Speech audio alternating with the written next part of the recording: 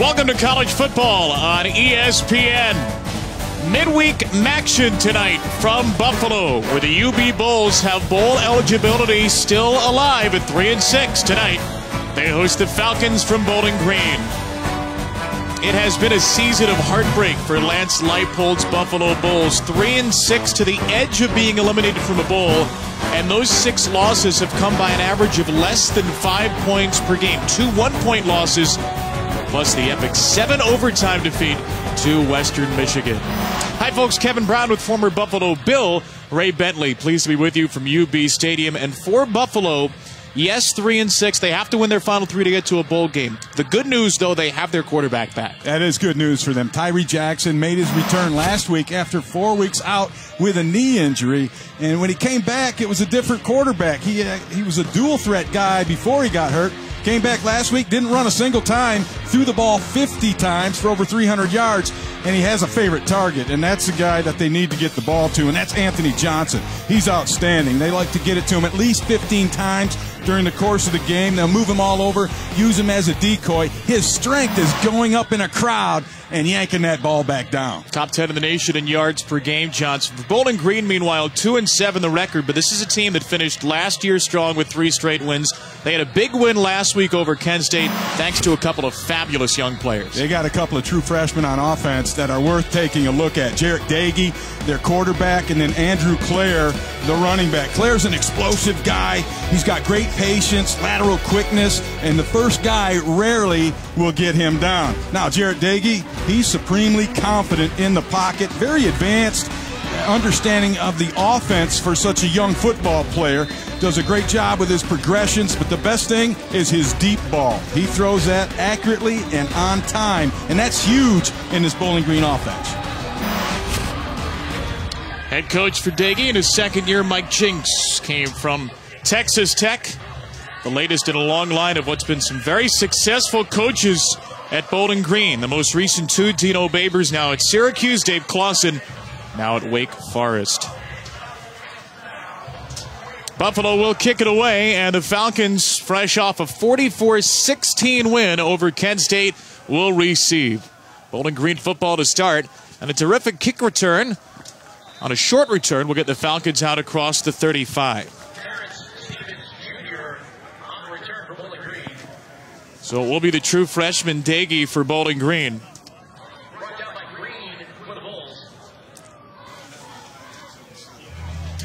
Falcons two and seven. They are two and three in MAC play. This is a team coming off a four and eight year.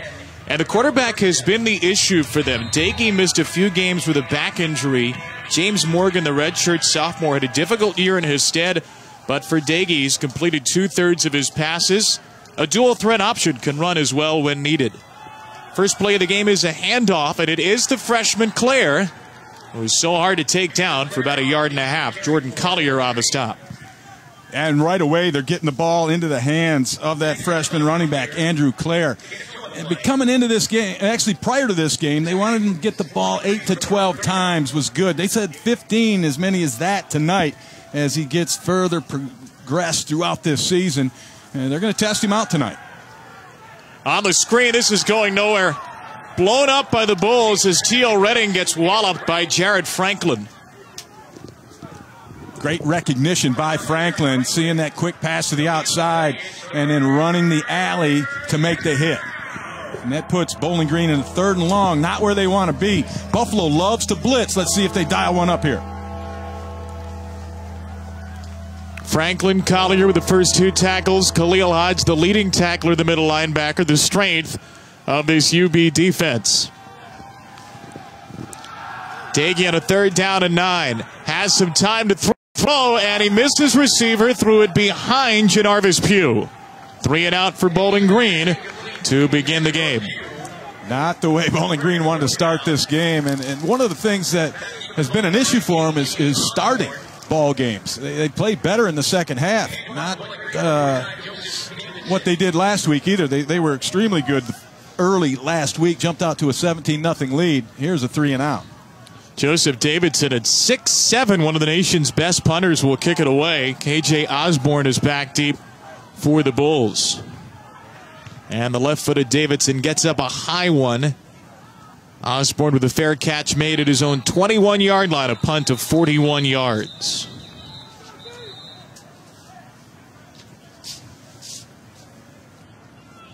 There's a flag down right in the middle of the field.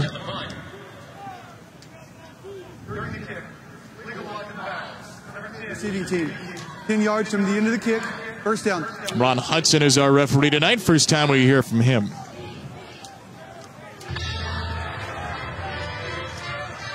So for Lance Leipold's Bulls, it will be the redshirt sophomore Tyree Jackson. We just saw a 6-7 punter, which is awfully rare. It's not quite as rare, but not common that you see a six-seven quarterback, but that's what you have in Jackson. Yeah, when he came to Buffalo, he was six five, and he's grown that much in the last three years. And they don't know if he's done yet, as a matter of fact, but he is a physical specimen. 245 pounds. He can run. I mean, it's a, coach's dream. The deal with him is getting him those reps, those game speed reps, so that he can take advantage of all those talents and strengths that he has. Began the season as the starter, hurt his knee in the fourth game against Florida Atlantic and missed the next four. So both teams have used three quarterbacks this year. Officials are having some trouble Correct. spotting this football. The foul was on the kicking team. The 10 yard penalty will be enforced from the end of the kick. First down, Buffalo. Well, that's unusual. You don't typically see a foul on the punting team. And it should be terrific field position once this ball is set down for UB. Uh, one special note on Tyree Jackson. It's his birthday. That's right. 20 years old today. Happy 20th for Tyree. We'll see how happy it is. So far, it's good. And here's a quick hitter to his favorite target, Johnson. They love to get him involved early. That's catch number 56 for Johnson, who comes into the game 112 yards shy of 1,000. He'd be the fourth bull ever to do that and they'll move him around. Originally, he started as an X receiver uh, primarily. That's uh, to the weak side, the lone guy over there. But uh, people figured out where he was, and they started double covering him. him and so now they move him around and try to avoid those uh, combination coverages. Johnson at the top of your screen right now after a gain of a couple on first down. Emmanuel Reed is the running back, sophomore from Crestview, Florida, and he will take the ball here. Reed jetting behind his offensive line, and the pulling block of the center, James O'Hagan, gain of five yards for the 5'8 sophomore Reed. And the Buffalo running game kind of reawoke last week. They had several tough components, and, and uh, Reed had a knee bruise, and it kind of slowed their running game down for several weeks. Last week they came back and, and Reed got over 100 and they moved the ball well on the ground. Fourth 100 yard game of the season for him. It's a team that lost its starting back, Jonathan Hawkins, the third game of the year. Jackson on a third down, fires one, and nearly intercepted. It was behind his intended target, and Brandon Harris, the outside linebacker, had it in his hands but couldn't hang on. Yeah, that's one Tyree Jackson is very fortunate it didn't go the other way. And, and the thing about it was he had Anthony Johnson out of that bunch set wide open across the middle of the field, but he took his eyes off of him. Back to back three and outs to start. Kyle DeWeen will kick it to Marcus Milton.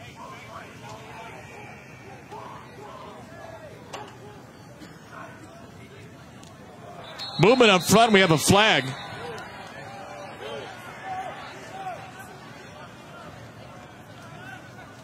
Pointing for side. That's one thing you'll always see when that flag goes out. It wasn't me, it was them. And the Bulls are going to get the benefit here. Offense coming back onto the field. Offside, number 24, defense.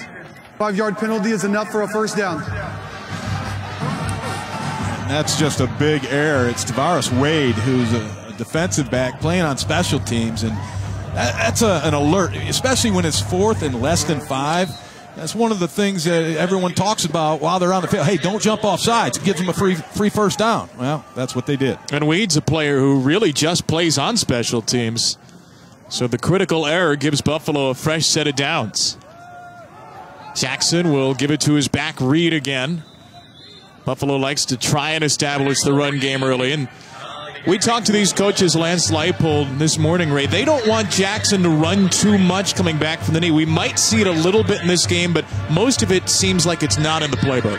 Yeah, and, and, you know it's interesting to me because looking back, he averaged around 12 carries a game back when he initially started as a starter. After taking that month off with the knee injury, he watched uh, his replacement. Uh, Drew Anderson play really well from the pocket, and I think he picked up a lot from that. Now the carry for Reed sets up a third and three after a gain of four. Tackle by Clint Stevens, the Bowling Green corner. Stevens missed last season uh, with an injury, and he's come in now and he's he's fighting for playing time with Cameron Jeffries, the starter, and he's done a really good job. He's either broken up or deflected 17 passes, and he's picked off three. Clint Stevens. On a third down, another handoff for Reed, and he is smacked in the middle. Penetration came from big Nico Lautinen, number 54. And the Bulls will bring out the punt team again. Lautinen got his first start last week and played extremely well. And so they're, they're riding that hot horse, and he showed you he can play. He's very quick and uses his hands extremely well. And let's see if uh, Bowling Green can not go off sides and maybe get a punt return here. Deween will kick it away. The ball spotted at midfield. And the Falcons left their defense on the field playing punt safe. Fair catch called for by Milton. He will let it bounce inside the five, and this thing spirals out of bounds to the one. A 49 yard punt for Deween, and Bowling Green will have 99 plus yards to go to the end zone when we return. Terrific kick by Deween and a hometown Buffalo bounce.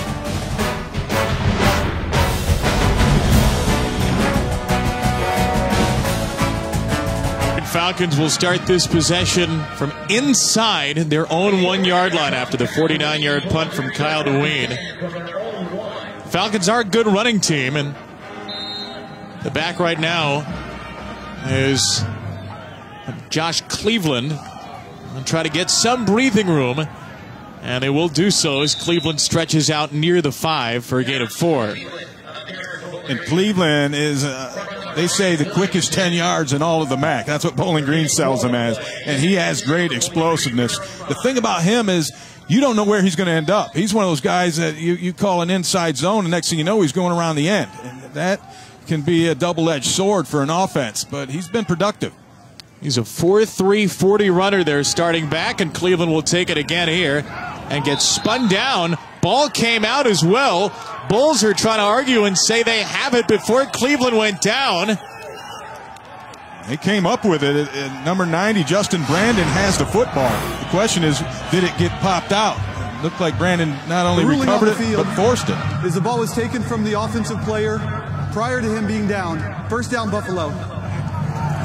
And you can see he tackles the football and it comes out of the hands of Cleveland and lands right into his belly. And he's got it. That's his ball all the way. Clock operator, please reset the game clock to 9 minutes, 47 seconds. 9 4 7. So Brandon with his first forced fumble and first recovered fumble of the season in the same play that's a man play right there. I mean, you got to be a man to just rip the ball out of somebody's hands. I've seen it one other time this year against Bowling Green, but that happened against the rookie Andrew Clair against Northern Illinois. So first and goal for Buffalo from the six. Give to the running back Reed a stutter step and only a yard. Well, we talked to these Buffalo coaches about their defense. Brandon and Chris Ford, the two inside tackles, are not the guys who pick up the most statistics, but Lance Leipold and the defensive coordinator Brian Borland praised their play, and that's the biggest play of this game so far made by Brandon. No doubt. Now, Buffalo struggled a little bit in the red zone, had a critical interception against Akron last week that would have been the difference in that ball game. So they need to find a way to punch it in down here. Double tight end set. It is Reed bouncing off a player and finding the end zone. Eighth touchdown of the season for Emmanuel Reed. And the Bulls strike Pigard after the takeaway. And you mentioned it. He ran into Marcus Milton. Milton had him. I mean, he had him wrapped up. But Reed showed some power for a littler guy. He's only 190 pounder, but he pulls out of the arms and the grasp of Milton. You see Milton come off the edge and then watch Reed be able to get away from him and struggle into the end zone for Buffalo to draw first blood.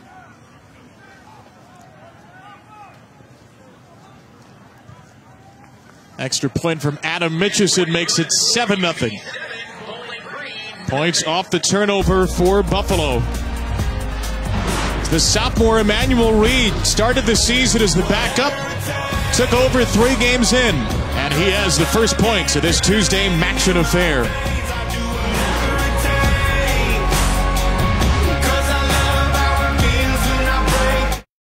College football. Brought to you by Sonic's Car Hop Classic. Pair a foot-long coney or a cheeseburger with onion rings for $2.99. And Allstate, official protector of college football fans.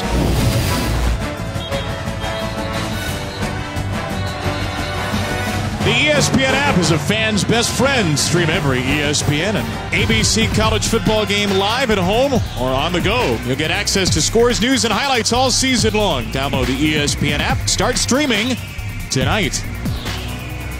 Bowling Green Falcon is happier than he ought to be right now. His team just turned it over at its own six yard line. Bulls punched it in two plays later. The run from Emmanuel Reed.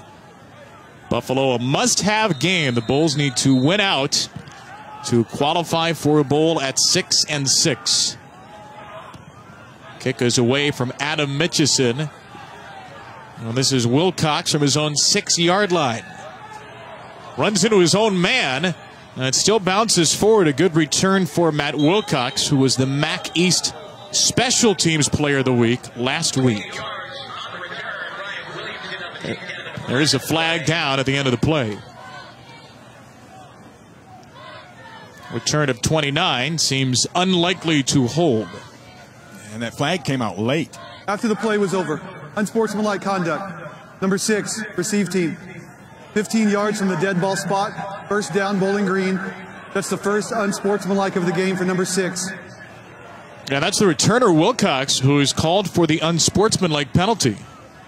Third special teams penalty already against the Falcons. Yeah, and that's just some somebody saying something they should not have said, and they're gonna they're gonna nab you for that. And this is a sloppy start for this Bowling Green football team. I watched them last week. They went into Kent, and they were sharp right from the get go. Not the same look in their eyes here tonight yet. And Coach Mike Jinks in his second season. His team with wins over Miami and Kent, two and three in MAC play. And we'll give it to Clair, the freshman, who is swallowed up after a gain of three yards. Khalil Hodge on the hit. Well, it's a good lineage of coaches here at Bowling Green that Mike Jinks is falling into. Urban Meyer, a young Urban Meyer before he went to Utah a couple of years at Bowling Green, and the last two, Dave Clawson at Wake Forest for five years, and Dino Babers in the ACC as well, doing a great job with Syracuse. As Clair breaks it to the outside, cuts back in, and gets himself right up near the first down marker. He is so hard to take down. Great hustle by Chuck Harris running that thing down. And you'll see a lot of those type of plays from that Buffalo defensive line. They keep hunting, hunting after that ball gets past them. And that was a great example of it from Harris. Quick snap here, and Doege on the quarterback steak falls across the 30 for a first down. It was quick tempo, knowing they only had a few inches to pick up. And that's kind of the way Bowling Green will use their tempo. They'll use it situationally, and they like it on those quick, short yardage plays. And also, after they string a couple of first downs together, they got the defense a little worn out. That's when they try to hit the gas pedal on them. Well, they just picked up their first first down of the game. Doege, the true freshman from his own 31. Pressure collapsing on him, and Doege is swallowed up by Ford.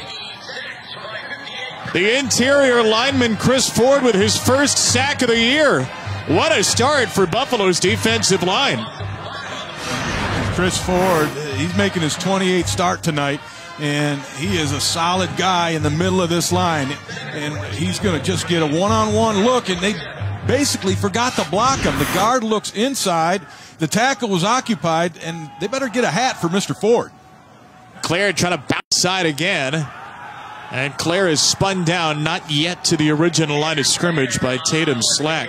Let me ask you a question. How do you forget to block a 6'3", 315 pound They guy? must have not seen him. It's the only thing I can think of. Uh, that- that's just a mind bust. And, and understand this: this three guys on the interior of Bowling Green's offensive line. You got John Kurtz is making his second start at right guard. Caleb Bright his second start at center, and Tim Blair is getting his first start at left guard. So they're young in there, and Ford took advantage of it. Banged up group. Having a tough start to this game. Doege steps up over the middle of the field and he hits Datron Guyton for the first down. Guyton's been really coming on for this Bowling Green football team. Had some excellent plays last week, and he shows you another one there. And Davey, you mentioned he stepped up into the pocket. That's displaying his composure, and it, all things are breaking down around him, but he steps up, keeps his eyes down the field, and delivers the mail. 19 on third and 11. Back to the ground here. They have Cleveland in the game, and there goes Cleveland. There's that breakaway speed you talked about, Ray, all the way down to the Buffalo 32 for 19 more. Well, the, first 10 of those 19 were the fastest in the MAC, if you're listening to Bowling Green. And he does have a gas pedal. He can flat out fly. Right back at it. A quick hitter from Doege this Great time. play. And a couple of yards. Good open field tackle made on Wilcox. And Bowling Green had the numbers out there, and that's why Doege whipped it out there. But Tatum Slack was able to basically beat the block and make the tackle. You don't see that very often where a corner can do both those things on one play. A lot of times he's just going to force it back inside where the help is coming from, but not Tatum Slack. He did it all. This is an area where Bowling Green thinks it has an advantage. Buffalo's best corner, Cameron Lewis, is out. So Slack has come from reserve to a starter tonight. Clair wrapped up and thrown down by Khalil Hodge. Second leading tackler in the country, Hodge, with the stop. He's something special. I love the way he plays. He's an inside linebacker by trade, but they'll move him around to the edges. They'll, he'll be the tip of the spear on some of their blitzes, and then he is outstanding in zone drop pass coverage. Uh, this kid can do it all. He, he's a guy that you might see playing on Sundays. Very productive.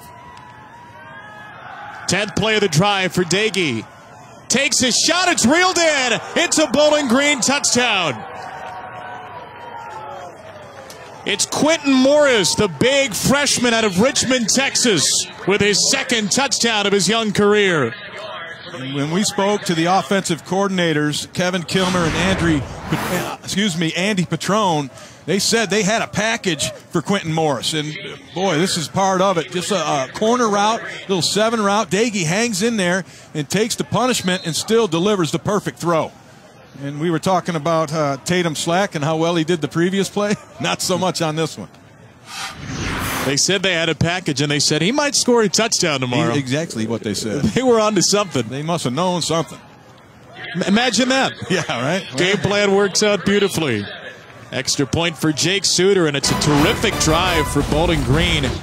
80 yards in 10 plays, three third down conversions, including this one from freshman to freshman.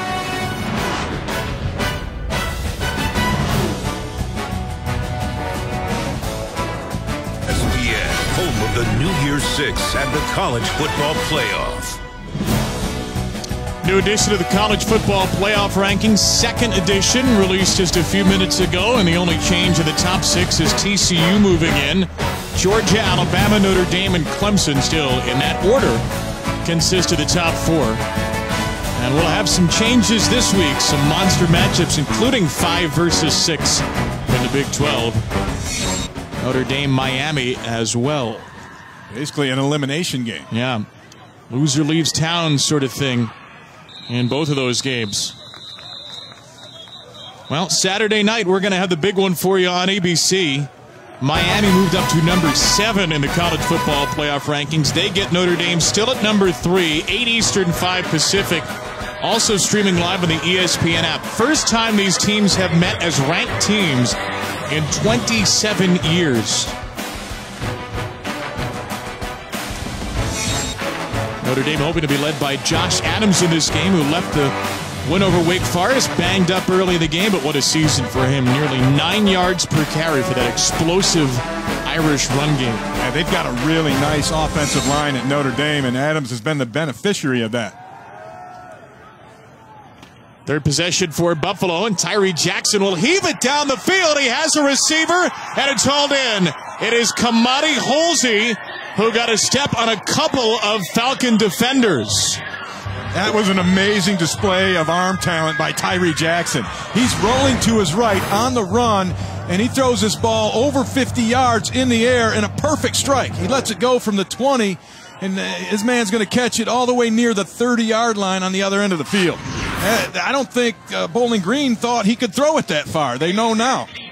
It's a gain of 51. Holsey averaging more than 17 yards per catch on the year, the JUCO transfer from Philadelphia. Had a real nice game last week. Has been picking it up as the year's gone on. Back on the ground, Emmanuel Reed with a touchdown and a couple of yards on first down. Well, you see the tools already with Jackson. We might not see the legs as much tonight, but the arm strength is awfully impressive. Yeah, and he used the legs to escape the pocket sure. and get to the edge. So. Uh, I think he, we will see him run a little bit. He looks like he's moving better tonight than he did last week on tape. But if, if Bowling Green can't keep him contained, they're going to be in trouble. Reed out of the game for this second down play. Theo Anderson, who usually gets every third series. Jackson fires a strike here, reeled in by Johnson. He scores a Buffalo touchdown. Two pass plays on the drive, 72 yards, and a score. And the arm of Tyree Jackson is jumping off the page right now. He's going to just throw a quick out route. Cameron Jeffries, the corner, has the the coverage, and he just doesn't react to the ball. The ball's thrown so fast it zips in there. Uh, Jeffries, by the time he reacts, he kind of overshoots it, and then Johnson's pretty good after the catch. A nice execution. What a drive an answer. Didn't take long, did it? Three plays to go 75 yards after the 10 play drive for Bowling Green. Seven touchdowns for one of the nation's best, Anthony Johnson.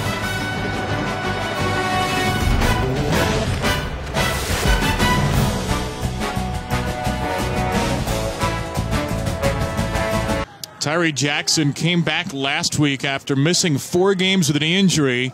He said the time off helped him. He got to watch and analyze games for the first time as an experienced college quarterback. I'm not sure you can analyze a 51 yard dime on the run or the rifle he uncorked for the Johnson touchdown. No, that's just talent stuff right there. But his ability to see those things might have helped uh, his time off, might have helped that. Matt Wilcox in the Bowling Green return tries to slip through blue. And he is down near the 35. Jeremiah Danabo got him low. That was quite a display from, from Tyree Jackson on that last drive. He did not throw the ball with that kind of zip and velocity in last week's game. So he is one uh, week further healthy. Actually, a little bit more than that because they played a week ago from Saturday. But my goodness, I, I did not see that kind of arm strength and arm talent on film. Oh, we've had three touchdowns in a row after two punts and a fumble to open the game. Here's a flip dropped by Cleveland. That is an incomplete pass. Fitz Winters, the head linesman, quickly is on it. Incomplete forward pass for a second down. This is a close one in terms of whether or not it is a lateral. Let's see where he gets rid of the football that to me is a lateral, no question about it. Now, it's a moot point to some extent because. The ruling on the field was an incomplete forward pass, second down. Because Jackson jumped, uh, excuse me, Cleveland jumped right on it. Um, but what it would do is move the ball back a couple yards if they decide to review it. Well, the officials are not going to take a look at this, or are they? They just stopped it. Harold or, Or maybe uh, Buffalo challenged it. Uh, I know Coach Leipold's out on the field, and he was in the ear pretty good. Harold Dinas is our replay official, and he might be pressed into service early. Yeah, and there really is there's not a whole lot of competitive advantage on this thing. Basically, it's just going to be a loss of a few yards for Bowling Green. Take another look at it, and throws the ball from the 30, and it's going to be caught on the 31 or dropped on the 31, or excuse me, 29 the other way. But to me, it's it's almost moot because Cleveland jumps right on it. So if they change this play, it'll be second and 12 right. rather than second and 10. Line of scrimmage at 35 looks like he fell out at the 33. Coach Leipold is still making his case over there. Still talking to Ron Hudson, the referee. He's got that look like, I can't even believe it, what I'm hearing. Coach Jinks, he's just minding his own business. For now. This play is not going to be reviewed after all. All right. Despite Lance's best efforts. And I think it's because of very little competitive uh, effect on the play. Doege takes a deep shot, single coverage, and just out of the reach of Guyton. He was one on one with Brandon Williams and could not catch up to it. Just barely overthrew that football. I, I had him last week, and he did not overthrow a single deep shot. And that's the one of the, things in terms of teaching that deep ball, that 50 50 ball. You want to give your guy a chance, especially the receivers that Bowling Green has. So they don't want you to overthrow that thing. They actually they want it to be thrown 37 yards on the dot, which it was just about at that that measurement, but a little too long for the receiver. Doege third and 10, a rush of four, and Doege will shovel it away to Clair, who is hit a couple of yards shy of a first down. Ran right up to the line of scrimmage. Some improvisation for Doege, but he is two yards shy of a new set of downs. He made a similar throw last week um, where he pitched the ball out while he was scrambling. And that tells you that his eyes are downfield. And it tells you he's got great peripheral vision to see the man out on the edge and then get it to him. But to no avail, they have to punt again.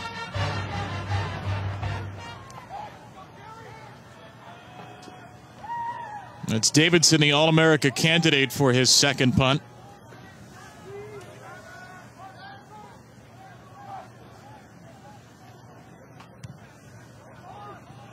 No chance to return this thing for Osborn. A fair catch inside his own 20 yard line. Another 41 yard kick, and again, no return.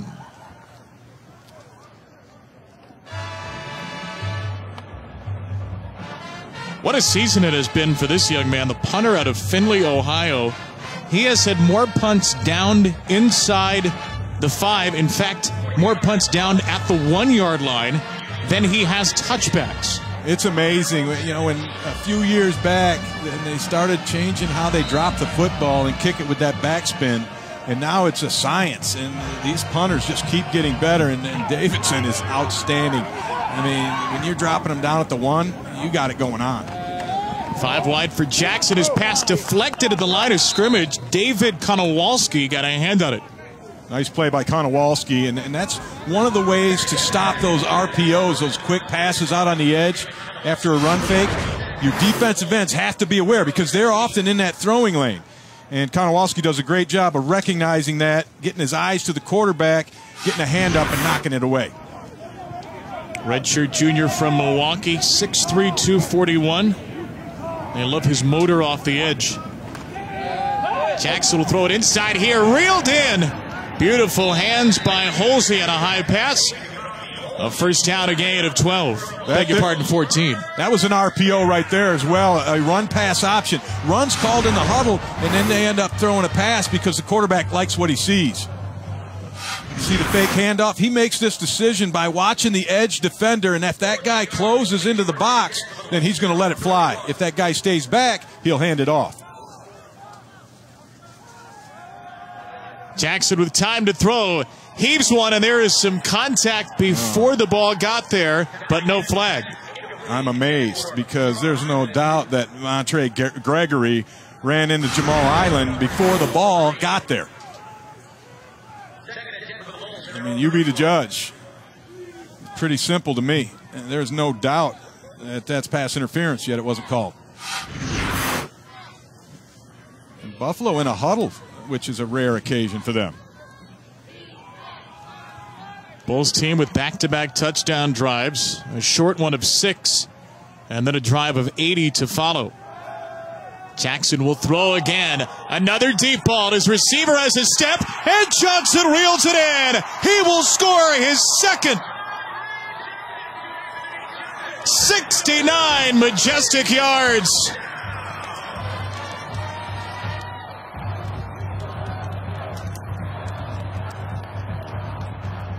How about this Tyree Jackson? I mean, unbelievable. Happy birthday, son. He's throwing this ball around the yard. Unbelievable. I mean, these are almost indefensible. Got so much air under it so that Johnson could just run under it.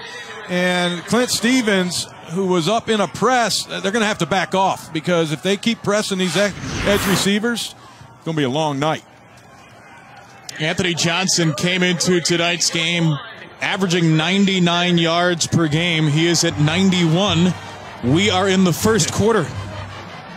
And if they, they I'll tell you what, the top has been taken off of this Bowling Green defense several times, and they are not going to be happy about that. Perry Eliano, uh, excuse me, Eliano, the defensive coordinator, he's going to be talking to those guys, and, and they're going to back up. I mean, they, they've been pressing right now.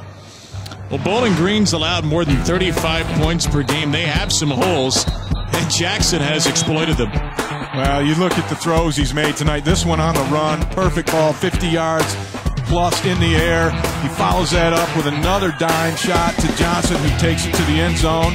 And then they said, okay, we have something here, and we're going to take our shots. And boom, they hit him again with another one, a perfectly thrown ball. And this Buffalo Bulls offense is off and running or throwing. 69 yards on that last throw from Jackson to Johnson. How nice it is to be a Buffalo Bull right now. Three consecutive touchdown drives here in the first quarter. Falcons seem like they've been on kick return all game. And Bowling Green will start right about the same spot. Terrence Stevens taking it up near the 35. And I don't think Bowling Green has to really get away from their game plan yet. I mean, they had one nice drive where Seth Day, or excuse me, Jarret Doege was three for three for 50 yards and threw the touchdown pass. They might tend to call some more passes, but they don't have to change things just yet. They do have to get together on defense and figure it out because after the opening punt, you can see all them TDs up there. Well, this is an excellent Buffalo team in the first quarter. They average more than eight points per quarter in the first. They're at 21 tonight. Falcons are usually a little bit of a slower starter. Their points usually tend to come right around halftime and in the third quarter. And Miller for seven years. Scott Miller with his first catch. Falcons 44 last Tuesday in the win over Kent State. So they could score their athletic on offense. Clair bounces it out after running into his own line, and Clair finds the edge for a first down. That's what he does so well. Yeah, if the first hole isn't open, he'll bounce to the next one and the next and the next. He finally got the edge. He's that explosive. And the other thing he'll do is he'll, he has a stop start move that is second to none. Yeah, he's explosive. How do you defend him if you're a linebacker? Uh, you try and hit him really hard and intimidate him is what I would do. Good luck with that, though. He's a hard guy yeah. to hit hard. Easy to save him up here, right? Yeah, and, and, you know the thing you have to do against a guy like that is play team defense. Keep your leverage. You can't try to be a hero and, and do things that you're not supposed to do. Stay home, play your technique, and don't worry if he's not there. He'll be there shortly.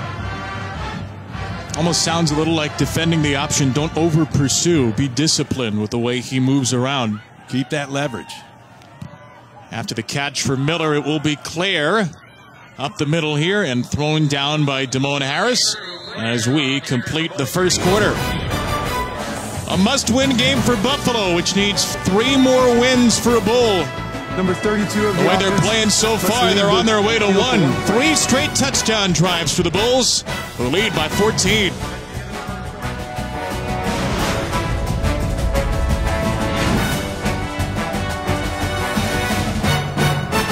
Told us when you're building a program, you need to figure out where you're deficient and address that. This Buffalo team scored just 10 points in the first quarter all of last year. They've surpassed that by leaps and bounds this season. Yeah, even just tonight, as a matter of fact, they've doubled it. Um, and you know what? It's it's gratifying to a coach when you when you identify that deficiency, but then you got to do something about it, and they certainly have this season. Bowling Green football from Buffalo territory. A third and three begins this quarter. And Doege, the quarterback, keeps the football and goes backwards.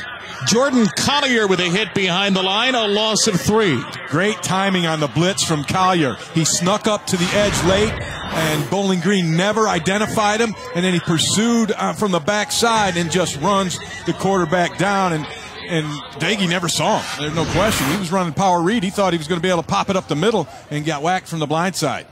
Six tackle for a loss for Collier this year, the transfer from UAB. Now some shuffling of the formation here for Bowling Green, which fancy. will still kick it away. You can get as fancy as you want. Davidson will still do that, pinning Buffalo down at the nine, punt of 37. This Buffalo offense has been electric so far early in this game, and it really starts with the quarterback. And Tyree Jackson, 5 of 8, 156 yards, a pair of touchdowns. As you see the plays and, and the, the, really the, the Buffalo scored so fast they don't need that many plays or time of possession. And they've got long completions of 51, 21, and 69 so far in just that first quarter. Anthony Johnson has been a star, no surprise. The leading receiver in the MAC, three catches, 91 yards, and two touchdowns already. Bowling Green has gone to a cover two, and they've got two safeties now, 15 yards off the ball and backpedaling at the snap. They do not want to get it thrown over their head again. Darian Hutchins with a stop on Theo Anderson. Of course, it is a Tuesday night second of the college football playoff rankings. The top five are the same. TCU moves into the top six.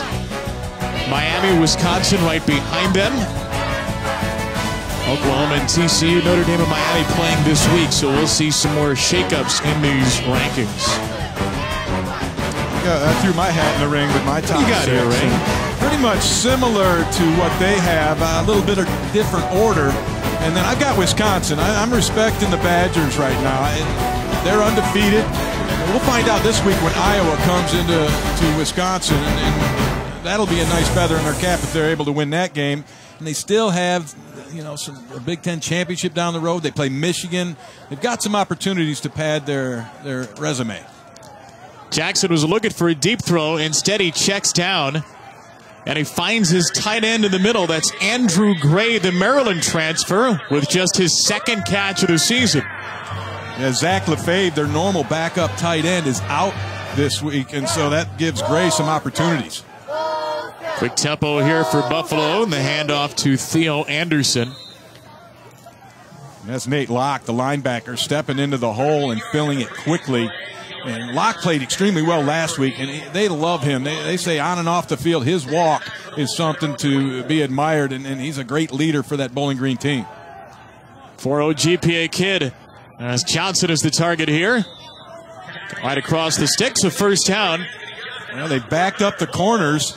Uh, the problem is now the ball will come out very fast, and then Jeffrey's got to make an open field tackle on Johnson, and that's another iffy proposition. And he's already at 100 yards, Ray, just four catches. That's what they said they want to do, though. We've seen the deep shots, but they like to get him the ball quickly. Yeah, he, they can get him the ball any which way, and they, that's what they want to do. They'll motion him into the backfield. Uh, they'll line him up in the slot. They'll put him at either outside position and find ways to get him the football. Juco transfer Johnson. Back to the ground game and Reed, who could not quite find the edge. Ball is spun out late, and the Falcons look like they're on top of it. That might well be a loose ball. I think he landed on top of, of the defender, Marcus Milton. Milton punched it out. Ruling on the Milton field got on fumble, top. recovered by the defense. First down, Bowling Green. If it stands, it's the 14th fumble recovery for Bowling Green this year. Yeah, leading uh, the country really, but see, I, I don't. I think that's a fumble because he landed on top of Milton when he went down, and then the ball came out before he hits the ground, and then Milton, of course, hustles to get on top of it, but no part of his body had touched the ground, and that ball's out. That that will be a The ruling uh, of a fumble, recovered by the defense, is under further review. I believe that play will stand, and Bowling Green will have another fumble recovery. Well, you mentioned it. Their premise, uh, their prowess here at getting fumbles. They were one behind Utah State coming into tonight for the FBS lead. This, assuming it stands, will tie them. It's funny for well, Bowling Green. You look at the points allowed; they've allowed 35 per game, but they have 22 takeaways on the year. If this stands, yeah, it's either take it away or give up points, and that that's been an issue with them. And the other issue is they don't score enough points off of those turnovers. Uh, you know, they're they're like seventh in the country in turnovers forced, but only 34th in, in uh, points scored off the turnovers. There's a uh, deficiency deficiency there. And that I already made my case. I, to me, that's a, an easy call for our replay official, Mr. Dinas. Milton had an interception last game. This would be his first forced fumble and fumble recovery of the year. After review, the ruling on the field is confirmed. Fumble recovered by the defense. First down, Bowling Green. So the 22nd takeaway of the season for Bowling Green. It snaps Buffalo's streak of touchdown drives at three, and the Falcons will get the ball in bowl territory. A lot of teams look at only 55 points off of those takeaways. That that is a, a serious deficiency. They have to take advantage of those things much better, and they're going to go with a, a, reverse to try to do so. Yeah, Cleveland the reverse to the speedy Bubble. Miller. He lost the football. It's right back to Buffalo. Looks like Jarrett Franklin jumped on top of it. Punched out by Chuck Harris, and Bowling Green once again fails to convert a turnover into points. Recovered by the defense, first down Buffalo. And they tried to get fancy. A lot of teams will take a shot or run some kind of trick play after a sudden change. That's exactly what they do. And Harris, he just manhandles Miller and knocks the ball loose. And uh, they're right there to jump on it with Jarrett Franklin. Well, that's two turnovers for Bowling Green in the game. They've yeah. now committed 21. They have 22 defensively, but the ball just pinballs back and forth in these games. Yeah. Hot potato. From its own 41, Buffalo has the ball. Jackson with a short fire to Tyler Mabry. Gain of a couple of yards to their leading receiver in terms of tight ends, Fred Garth.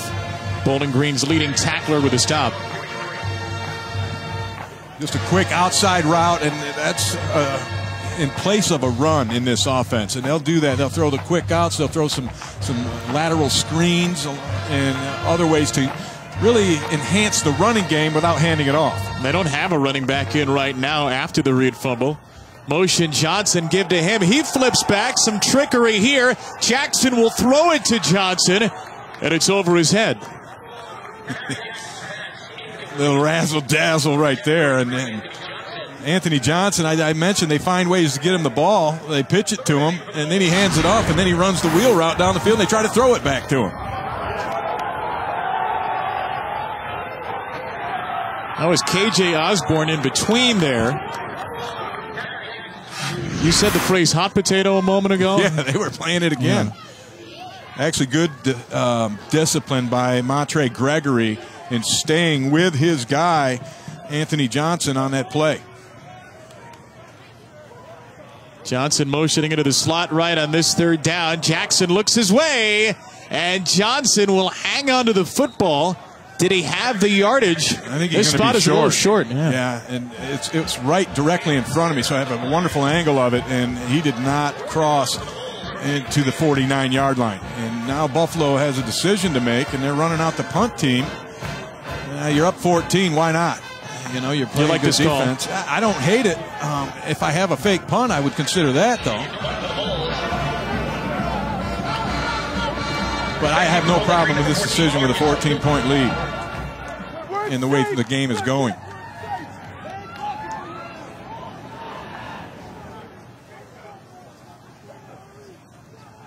It is a punt. Kick from Deween will take a Buffalo roll inside the 10 and grabbed by Milton there. Well, Milton probably saved him about five, seven yards or so.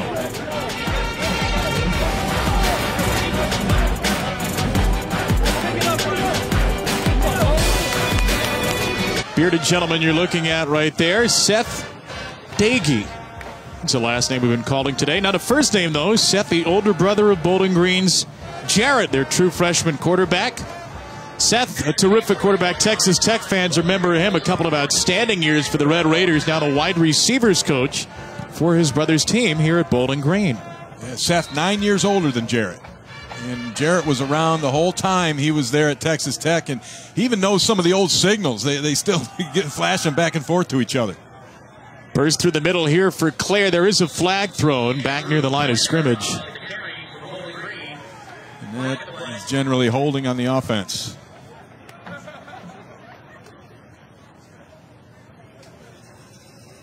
Holding. Number 55, offense. Half the distance to the goal. First down. It's the center, Caleb Bright. For Jarret, he's just a true freshman starting, but the coaches talk about how advanced he is. How much of that is from being around his brother? Most of it. And his father was also a high school coach in Texas, and he was immersed in the football his entire life. And, and he's a really bright kid. And that's why he's so far ahead for being a true freshman in terms of running the progressions in the offense and understanding those different things. Clair again. Try to find some space, and he has nothing. Interior that line has played very well today. Matt Otwanowski, the linebacker, came up for the tackle. Jarrett Franklin helped that play, getting some penetration. And he's an interesting um, ball player for this football team as well. He wears number 41 in honor of Solomon Jackson, who passed away in 2016 after a winter workout with the Bulls football team. And each year they decide who gets to wear that jersey, and the family gets involved. And Jarrett Franklin has that honor this season. Starting linebacker right now. Franklin pushed by an offensive lineman near the end of that play. It'll be a third down and long. I, I, think what you said there is really nice that Solomon's family, his parents, really get to have the final approval on that. Lance Leipold said, Yeah, we have a suggestion, but it's really their call in the end. And they love this kid, Jarrett Franklin. A couple of years ago when Leipold came in, Jarrett had had back surgery, and the doctors cleared him to play halfway through the year. Lance asked if he wanted to redshirt, and Jarrett said, If I could, I would because I see what's happening with the young players here, and I want to be a part of the future. Nice closing play here at a third down. Brandon Williams. Excellent coverage, and Bowling Green will punt. Hey, actually, uh, that's a suplex move. I don't know if that's legal, but it's a nice wrestling technique. Pick a guy up, slam him over your shoulder onto his back. Somebody's ready for the Ric Flair yeah, 30 for 30. maybe they got a preview on that thing. Here's here's your suplex right there. That's how that goes. Well, Buffalo chose to punt on fourth and one from midfield. It looks like the Bulls. Dogs at home yet again for the second straight week. Well, you know, these Miami players are relishing this moment. I was at the game last week, and at the end of it, linebacker Shaquille Quarterman was shouting, Nobody believed we could win this game. And then in his post game comments, he said, It's an us against the world mentality. Nobody wants to see us succeed. Nobody wants Miami to win. And we're going to do everything that we can to prove these people. ESPN College Football, brought to you by Sam Adams. Fill your glass. And Esurance, auto and home insurance for the modern world. Explosive night for the Buffalo Bulls needing to win out to become eligible for a bowl game. They have Ball State on the road next week, then they host Ohio after that. Their offense has been clicking tonight. Three touchdown drives and three plays of 20 plus yards through the air. Yeah, it's been a, a, a unbelievable start for the birthday boy Tyree Jackson. He has been really special tonight. And you see the remaining games for the Bulls. They'll be a prohibitive favorite against Ball State. Ohio, not so much, as they're uh, one of the top teams, and they are the top team in the East Division right now, uh, tied with Akron at four and one. Big game for Ohio coming up with Toledo tomorrow, but that Frank Solich coach team, one of the top threats in the MAC as always. Bulls hoping to get to their third bowl game in program history, and their first under Lance Leipold. First carry for Emmanuel Reed after his fumble, and he gains four. the Bowling Green defense has changed the, the way they're playing in the secondary. Uh, they, they're a little gun shy right now, and they, they have backed off a little bit. I'm seeing more zone, some cover two. They don't want that ball thrown over their head again. How does Jackson exploit that? Well, he's still getting press occasionally, like he's got it at the top of the screen here, and they may be thinking, talking about that right now, and uh, take a shot down the field because they have that, because they haven't been getting it. It's Kamani Holsey at the top of the screen with the pressure. Jackson instead over the middle. That was a brilliant decision. First catch for Jacob Martinez. Middle of the field wide open. UB takes advantage for 30. And Tyree Jackson sees the blitz coming and knows he's got a hot receiver out to his right. That's where he zips the slant in, and that's just a great move uh, from the slot by Jacob Martinez, crossing the face and getting open. And right back to Martinez, who drags a Falcon across the 20 into the red zone. Eight yards on first and 10. And that's another product of having the, the defensive backs from Bowling Green back off. Now you can run your, your quick screens to the edge. Jackson with a shoulder fake. Firing for the end zone. A high pass off the head of Mabry. And it looks to me like Mabry should have gone up with both hands that high. He tried to one hand it. Uh, it was a little bit tall of a throw because Jackson had to get it over the linebacker. Nice underneath drop there by number 11, uh, Aaron Banks, really taking that play away, though it could have been caught. Took the shot on second and short. Here comes that sugar huddle. One. That sugar huddle they like to run. Powered up the middle for Reed, who is slammed. Depends on the spot. Doesn't look like he has enough. Brandon Harris, who's had a terrific year, the junior out of East Cleveland, closed the hole. Well, Bowling Green has seen this on film because Buffalo's run it throughout the course of the season. They'll run this, what they call a sugar huddle. They hurry up, line up quick, and they try to really get tempo out of that. Well, they got tempoed right in the face by a nice fill from the linebacker. Brandon Harris, he said, nah, you're not going to fool me on that. Here's that sugar huddle again. Fourth down, back to Reed. And he looks to have enough. Couple of yards, first down, Buffalo. And Jake Molinich, the number 48, the backup tight end and also the fullback in those situations, he got the key block to open things up. Why is that so hard to defend, that quick huddle, that sugar huddle? Well, they come out, they've got different personnel. They bring in an offensive, extra offensive lineman to play tight end. They got another uh, two tight ends in there as well. And then you've got an unbalanced line, and it's just hard to get your bearings. Where do we set our front? Off of what? And, and by the time you figure that out, they've already snapped the football. Reed again trying to jet around the edge with a flag thrown. Reed is inside the five, but there are three flags right now. This may not stand, and it will not.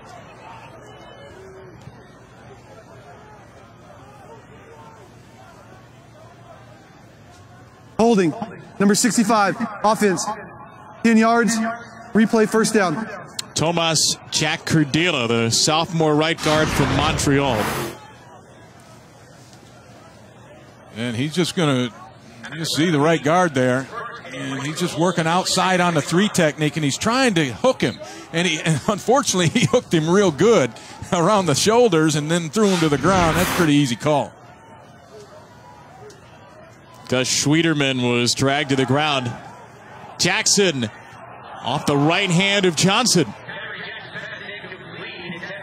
This is something that offensive coordinator Andy Kotelnicki talked about us with, where Johnson is being self-critical. Sometimes he needs to go up with two hands. Is this one of those spots? I think it is. And uh, this is a tough little hole. I think the ball's overthrown. I don't know that he would have got it anyway. But you try and fit that ball between the safety and the corner. I know Jon Gruden calls it the turkey hole. And uh, that time it was just a little bit overthrown. Yeah, we all learned that new term yesterday just in time for Thanksgiving. Yeah, missed a turnover while we were at it, but hey. Here's Martinez. Back near the original line of scrimmage. Third catch of the drive for Jacob. I love the way Tyree Jackson is is using the whole field, and he's getting it to a bunch of different guys, spreading it out. He's in total command. You know, it's, it's hard to fathom the improvement he made after sitting down for four weeks with that bad knee. But watching the tape before and then watching him now, he's made incredible strides. Lance Leipold said he's maturing into the quarterback we thought he could be. Only a redshirt sophomore from Norton Shores, Michigan. Mona Shores High School. That's near my hometown. Here's Reed on the swing on third and 11. And Emmanuel Reed out of the flats looks to have enough for a Buffalo first down. First and goal coming up for the Bulls. Get a nice block by the left tackle, Kazarzak, on this one. Watch the left tackle and his ability to now leave and then out in space block a little guy. I mean, those little guys, they hate to see the big ones coming like that. A lot of times you can shake them, but not Kazarzak on that one. 6'6", 315, Kazarzak, local product out of West Seneca. Reed down to the two. Set up second and goal as we move toward the four-minute mark here in this quarter. And they like to run Reed out of the pistol formation. I don't know for sure, but I I bet that he was an I back in high school because he has such a great feel when they get him back there, that running the downhill and making the cut and exploding outside, the various things you do from that position. They got him there again. Sophomore to Crestview, Florida will take it. Reed toward the goal line. Lost it. Bowling Green thinks it's picked up another turnover. Falcons have the football. How about the Bowling Green defense? It was Gus Schwieterman to recover, and it is officially a fumble. And Bowling Green Ruling stands. on the field is a fumble recovered by the defense. First down, Bowling Green. And it was Brandon Harris who knocked the ball Timeout out, on the field. and it landed right in the lap of Schwieterman.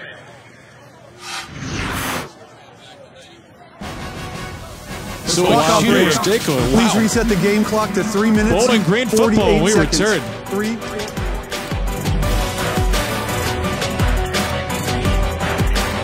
Yet another takeaway for the Bowling Green defense. Gus Schwieterman gets the championship belt. He recovers a fumble forced by Brandon Harris. And Bowling Green has the football at its own two yard line. 23rd takeaway for the Falcons this season. They moved up to second in the country. Doege out of his own end zone. Incomplete diving try here for Scott Miller. Falcons are no stranger not only to takeaways, but they are no stranger to big takeaways up against their own goal line. October 7th, up by one point in the closing minutes against Miami, Ohio. A bot snap, and it was Harris who forced out the fumble you just saw live, recovering this fumble for a 93 yard return. And the first Bowling Green win of the year was sealed. Out of the end zone, Clair. Andrew Clair darting his way and dancing down to the 19. and he got a nice block from his big tight end Hunter Folkertsma, and then it was all hit, all Clair. And what amazes me is his vision, how he saw this last guy that he makes the cutoff. There's the block by uh, Folkertsma, but how he saw that last guy out of his peripheral vision, I don't know. It's almost like he's got uh, rear view mirrors or something. Four straight 100 yard games for the true freshman from St. Louis. Doege with a completion over the middle. Big hit applied at the end by Kobe Green on Miller, but a catch of 20 yards for a Falcon first. Nice little zone beater there. He hit a guy in between the, the two linebackers and in front of the safeties.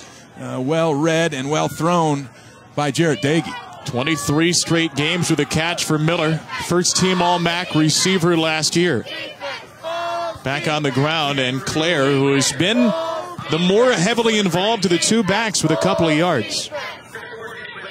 And yeah, we haven't seen a whole lot of, Cleveland tonight. It's been mostly Clair, and that's what the coaches told us. They, they feel like he's at that point where uh, he's, he, he's a little more mature, and they think he can handle more of a load, and that's what he's getting thus far. Over a thousand all-purpose yards on the season. Doege's got to get rid of this football quickly. He does just in time. It was Guyton over the middle as the pocket collapsed from behind him and in front. Yeah, Demone Harris had great pressure on an, a speed rush around the edge, but I just love Doege's composure. He felt that pressure, stepped up into the pocket, and let it go before he got whacked. That's a knack that, that he has. He's got a great internal clock. Third and four for Bowling Green. Doege's pass reeled in by Morris. A touchdown recipient from earlier with a gain of eight. And there's another example of Jarret Doege understanding the offense, knowing what they needed for the first down, and where is that guy that's going to get it for me? They ran Morris on a quick out from the slot. Boom, boom, move the chains. Cleveland back in as the running back under two to play in the half. Doege feeds Miller again. He has a first down grab, his second of the drive. Got covered by Gaddafi Wright, who's a tall, wiry player, but a linebacker, and that's a good matchup for the speedy Miller. No doubt, and that's why they put Miller in the slot so that he gets those type matchups, and that's Doege uh, recognizes that immediately. And I, I think Bowling Green needs to keep this up, throw the football, and then mix the run in. Doege takes his shot, and he overshot his receiver. He knew it too. He was all upset with himself because he had six points right there with Guyton running down the field, uh, a good couple, three, four yards behind the Buffalo defense, and Doege just overshot it, and he was upset, as you can tell. Had hit eight of his last nine passes before that overthrow. First true freshman to start at quarterback for Bowling Green in 35 years. Returned last week after hurting his back earlier in the year, catching a pass. Yeah, against Akron, they, they got razzle dazzle on him and ran a throwback, and he got whacked. And he, he still gained 20 yards after he got hit. And how about this throw and catch? There is a flag down near the line of scrimmage. It was Teo Redding on a spectacular throw from Doege under pressure. We'll see if it stands. And that's a nice toss to the outside, and, and he's got it to me now. That, yeah, he's holding on to that football. Number 14, defense lined up in the neutral zone. Penalty is declined. Result of the play is second down. Well, Teo Redding has been making a habit of He's this special. spectacular catches in game after game, and that's just his first one.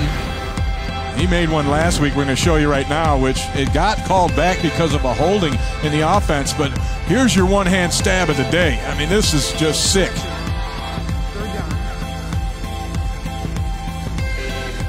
Those are the kind of plays that Redding is capable of, and, and Jarret Doege's well aware of that. And he's going to look for his guy, especially in this area of the field. So third and a yard, the back Cleveland takes it and runs for the first down. Cleveland almost out of bounds, and look at this. On the sideline, Cleveland a hard hit from Tim Roberts. I think it was Cleveland applying the hit to Roberts first before Roberts wrestled him down. Yeah, and, uh, and then Cleveland limped off afterwards. But these guys are going at it. Uh, Slack misses them, and then it's on. But Cleveland's out of the ball game. They're going to have to take a look at him. Andrew Clair returns. Minute and 28 here in this first half, and the Falcons trying to cut this to a one score game. They like the tight end in this area of the field. Doege will just flip it out of the flats to Redding. Slipped away from one tackle. Couldn't get free from Kobe Green, the freshman free safety. And Doege was looking for his tight end, Hunter Folkertsma, who ran a, a little inside route, and it just wasn't there. He had to come off of it and, and find another guy, which he did. And uh, give credit to Doege. I mean, you talk about going through progressions. He's very good at that. Folkertsma and Hunter Scatabo, the two tight ends to the right of the line here. Falcons still with three timeouts, being patient. The play fake. Doege, end zone. Incomplete with a flag. It was Green, the true freshman, in coverage on Redding. And it looked to me like Green had his left hand on the receiver, and that's where they're going to get him. Pass interference. Number two, defense. 15 yard penalty. Ball will be placed at the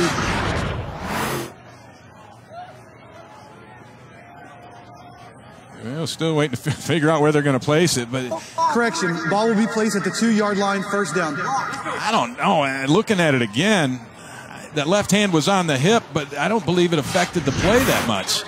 Uh, tough call for Green. Bowling Green trying to milk this clock as much as they can. They don't want to get Tyree Jackson back on the field with any kind of time, but they still want to punch this thing in. You try to run it here on first down? Yeah, sidecar I, run the ISO, and go jam it in there. Instead, it's a little flip out on the fade, and it's knocked away by Brandon Williams in coverage with Guyton. You like that call? Nah, I don't mind it. It's a first down, so everyone's thinking run, especially me, and, and you try your fade out to a big receiver. Uh, no real problem with the call. Um, but you, to me, you run this thing in. But they've had trouble with that, and that's that's been an issue for Bowling Green scoring touchdowns when they get down in this area, what they call the tight red zone. Clair this time, he will heed the call and score a Bowling Green touchdown. He he made an incredible move.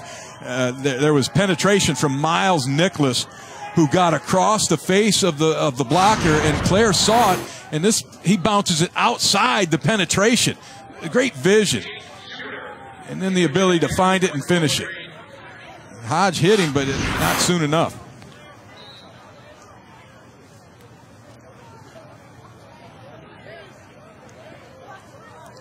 So remember, this drive started all the way back at Bowling Green's two yard line after the turnover. And the Falcons marched 98 yards down the field to make this a one score game. Andrew Clair with his fourth touchdown run of this season.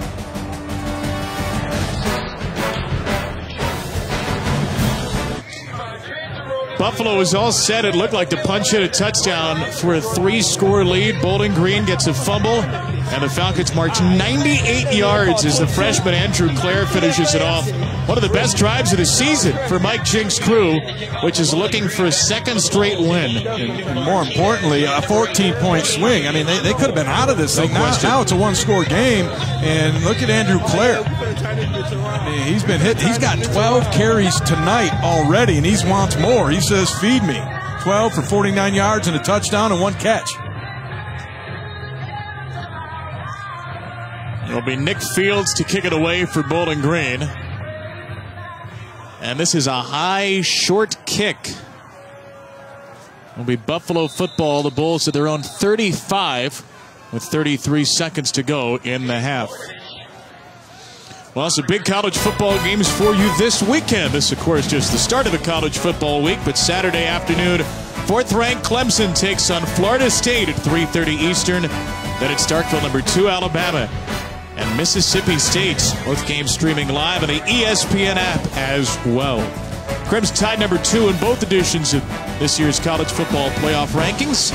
And a one-game lead over Auburn with the Iron Bowl in a couple of weeks. How about this stretch for Auburn? They have Georgia yeah, this they, week, then Alabama in a few. They can make their own ticket right they there. sure can. Number 10 right now in the playoff rankings, Auburn. With the SEC continuing to be a top heavy league, three teams in the top 10. This run might never end. This might take us to the half. This is a scrum. Theo Anderson for a gain of nine. And Buffalo is in no particular hurry to run another play. Yeah, they don't have to if they don't want to. And the body language tells me they're done for the half. Well, Buffalo will get the football to begin the second half. Bulls could have been up 28-7 had they converted the on a goal-to-go situation. Instead, Bowling Green forces a turnover, and the Falcons have made this a seven-point game. Great first half, though, for Tyree Jackson, who looks as healthy as he's been. Yeah, he was outstanding. Uh, that one drive when he threw that 61 yarder down the field, nothing short of amazing, and they're going to need him to do more of that in the second half. 21 to 14 lead for Buffalo. The Bulls have to win this game and their next two to be bowl eligible. Bowling Green is trying to play spoiler. 21 14, Bulls lead the Falcons. Here the half on ESPNU. Up next, it's our halftime report.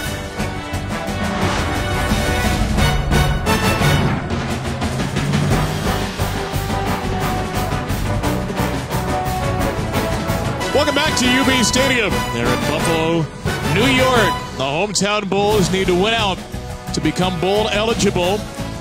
They're on top right now, but only by seven over Bowling Green, 21 to 14 with former Buffalo Bill Ray Bentley. I'm Kevin Brown. It was going to be, we thought, a three-score lead for Buffalo. The Bulls with a late turnover, and Bowling Green drove down the field for a score. We'll get to that at the end of our first half highlights.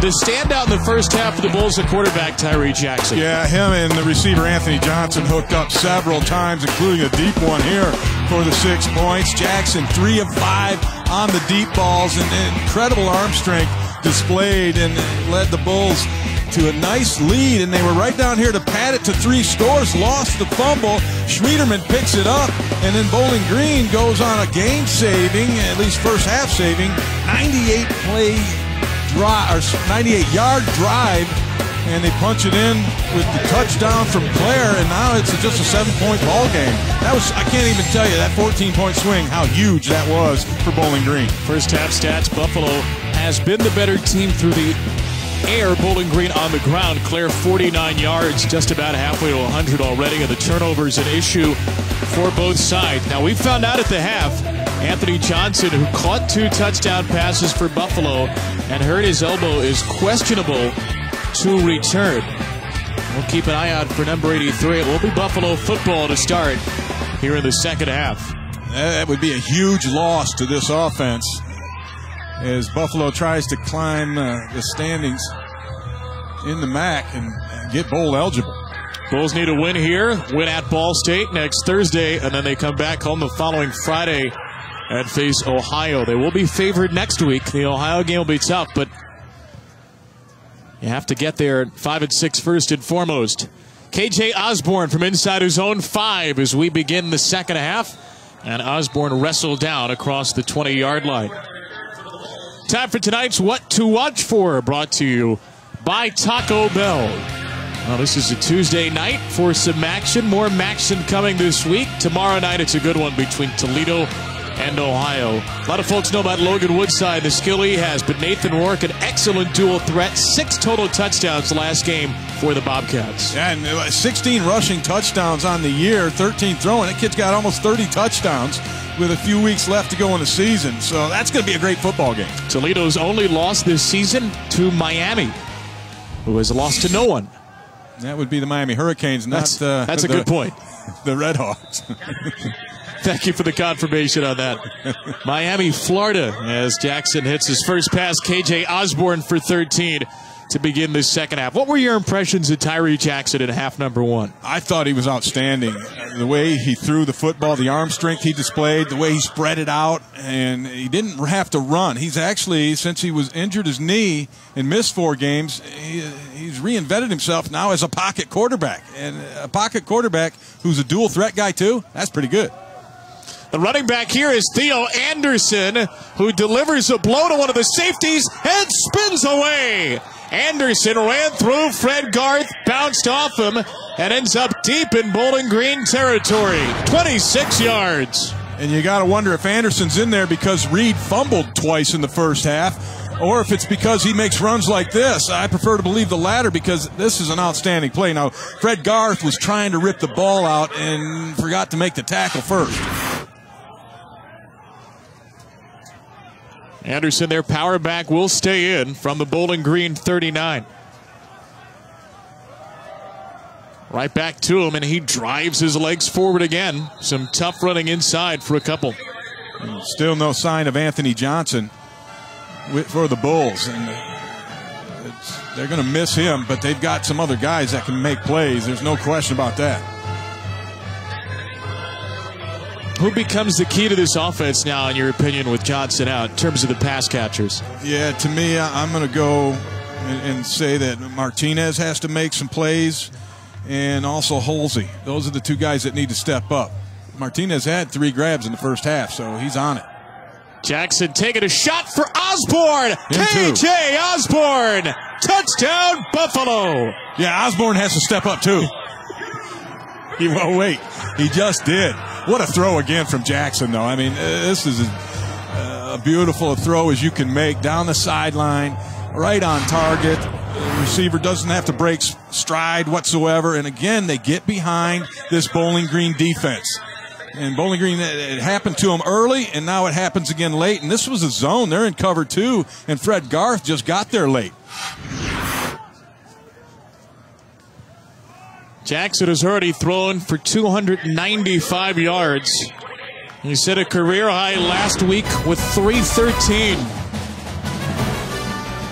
Three touchdown chucks for this young man. Yeah, and this is just another beautiful throw from Jackson. And Buffalo comes out in the second half, firing away 28 to 14.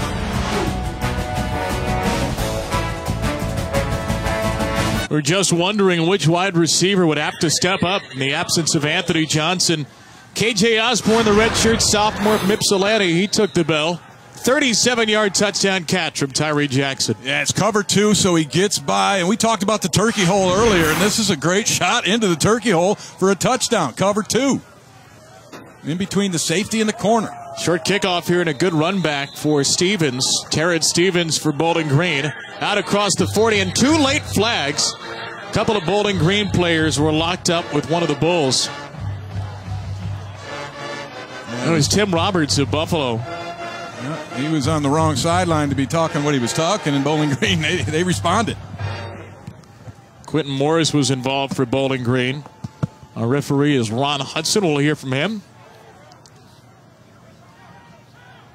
After the play was over, unsportsmanlike conduct, number 22 of the kicking team, 15 yards in force from the end of the run, first down. It is Roberts, who is a terrific kid, and they love him. A JUCO transfer from Fullerton College, but not the sort of penalty you can afford after a touchdown, and it will put the football in Buffalo territory. Yeah, he was the MAC Defensive Player of the Week. Last week was Tim Roberts. Had six tackles, an interception, and a, uh, a tackle for a loss, but that one's going to go against him. And he's uh, uh, nominated for the, a nice award, the Campbell.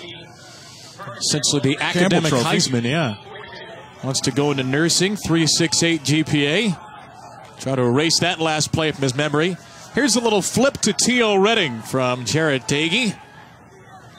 And a nice run after technically the catch for nine yards. Right, that'll go down as a, a, a catch and a, a, passing play because he flipped it forward, which is a smart thing to do because if the guy drops it, it's an incomplete and you don't have to worry about that fumble. Redshirt senior from Warren, Michigan, who's really worked on his body this year, become their number one wide receiver.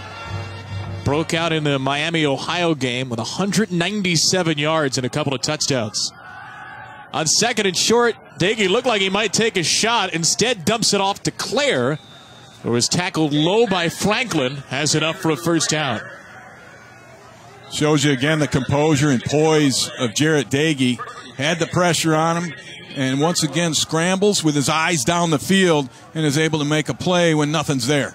And, you know, he's not a dynamic runner, but he's an excellent scrambler and he knows the pocket, has a great feel for that as well. You've seen six plus quarters now, the true freshman Doege last week in this. Where do you think his biggest strength lies? I think it's uh, mentally his ability to get into the right play, read the progressions, make good decisions, and in the close second is his deep pass, his deep ball. Doege try to set up the screen, and he just chucks it into the ground. Yeah, he had some serious pressure on him in the form of Chuck Harris, and trying to set there up the screen. There is no foul for intentional grounding. Number 45 was in the area. In his last two games, Jarret Doege's gotten called for intentional grounding. In fact, the, the coaches joked with us, we have to teach him that rule a little better. Apparently, he learned. He got away with one there. Donovan Wilson was the receiver in the area. So it'll be second down and 10, no flag.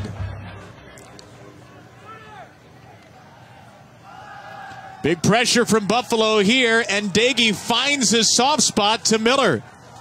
Good for a first down, right at the edge of the red zone. Buffalo blitzed that, uh, their linebacker Khalil Hodge, and Doege was able to handle that and still get the pass out. And he had great patience in this one. He knew he had a crosser coming late, and Hodge will hit him, but he still hangs in there and makes the throw.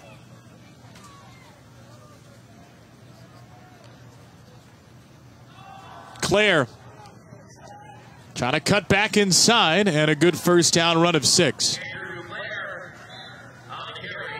Well, Buffalo told us they don't love to blitz. They did get to Doege there, and it, it shows you the advanced play.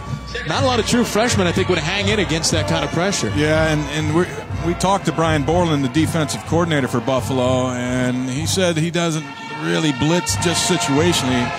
Well, I believe my eyes more than what people tell me. and they blitz a lot, and they have brought it tonight throughout. A lot of them come from off. Second and two after a very good spot.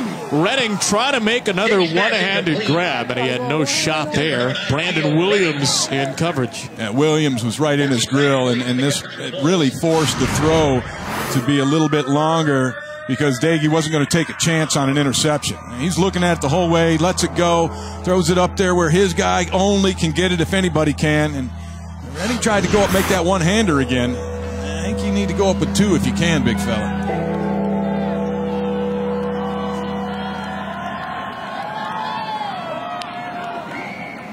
Clair on a third down run will plow his way across the 10 for a first down.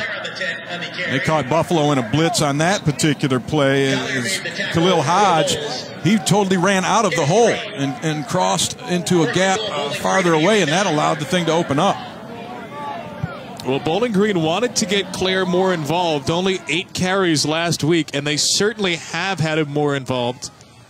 14 carries, 60 yards, and a score tonight. Josh Cleveland, who was banged up in the first half, only with four. Top. Here's the flip to the tight end. It's incomplete. Folkertsma had it in his hands. Ryan Williamson was there to defend, and the redshirt senior could not reel it in. That's a great football play coming over there by Williamson to get the hit, although Folkertsma still has to catch this ball. This has become a real popular play in college football, making a comeback.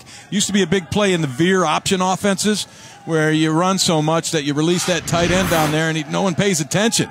But Folkertsma should have had that one. Second and goal for Bowling Green. Doege with a flip to Redding. Touchdown. It makes a big difference when you go up with two hands. Very similar to the previous play against Brandon Williams. And this time, the, the big difference was the better body position and the quicker jump by Redding so he can high point the football and then he uses both hands.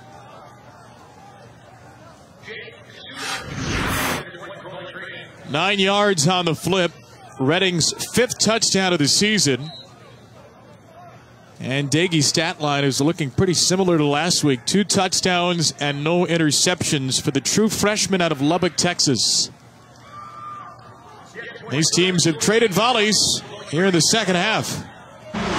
Opening touchdown for Buffalo. Doege and Bowling Green strike back.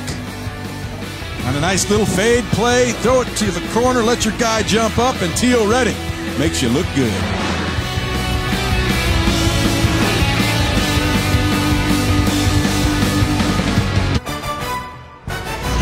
ESPN College Football, brought to you by Sonic's Car Hop Classic. Pair a foot-long coney or a cheeseburger with onion rings for $2.99. Mr. Leipold, tear down those stands. and he did. Buffalo Bulls and the head coach Lance Leipold in his third year breaking ground on what will be a new football building, the Murchie Family Fieldhouse, part of Lance Leipold's efforts is what he says is the work of a CEO slash general manager, not just head coach, to get some new facilities and some money into this program. And they have been uh, practicing indoors. They go down to, to Orchard Park and and go into the Bills uh, facility, and it's really a pain because they got kids that are in classes. You got to bus everybody up there and back. And but he did say Sean McDermott with the Bills has been really good with them and and le- letting them use that facility while they wait for theirs to get built. Third year head coach. One of the great Division three coaches we've ever seen. Six national titles in eight years at Wisconsin Whitewater in his third year here at Buffalo. Trying to get the Bulls to a bowl. KJ Osborn with a touchdown last drive, trying to get to the 20, and he will not. A little bit shy and a well covered return. Well, for Buffalo, big question coming out of the locker room was would Anthony Johnson return? Our answer is yes, at least to the field. Elbow injury, and he's currently riding the exercise bike. Hopefully for the Bulls, he can get back into the game. And you see they padded up the elbow. Um, I'm surprised it's not taped up. That's that's probably a good sign, although there's likely tape under the pad. But will he get back in the game? That's the question. 995 receiving yards on the year, five shy of being the fourth player in UB history with 1,000 in a season.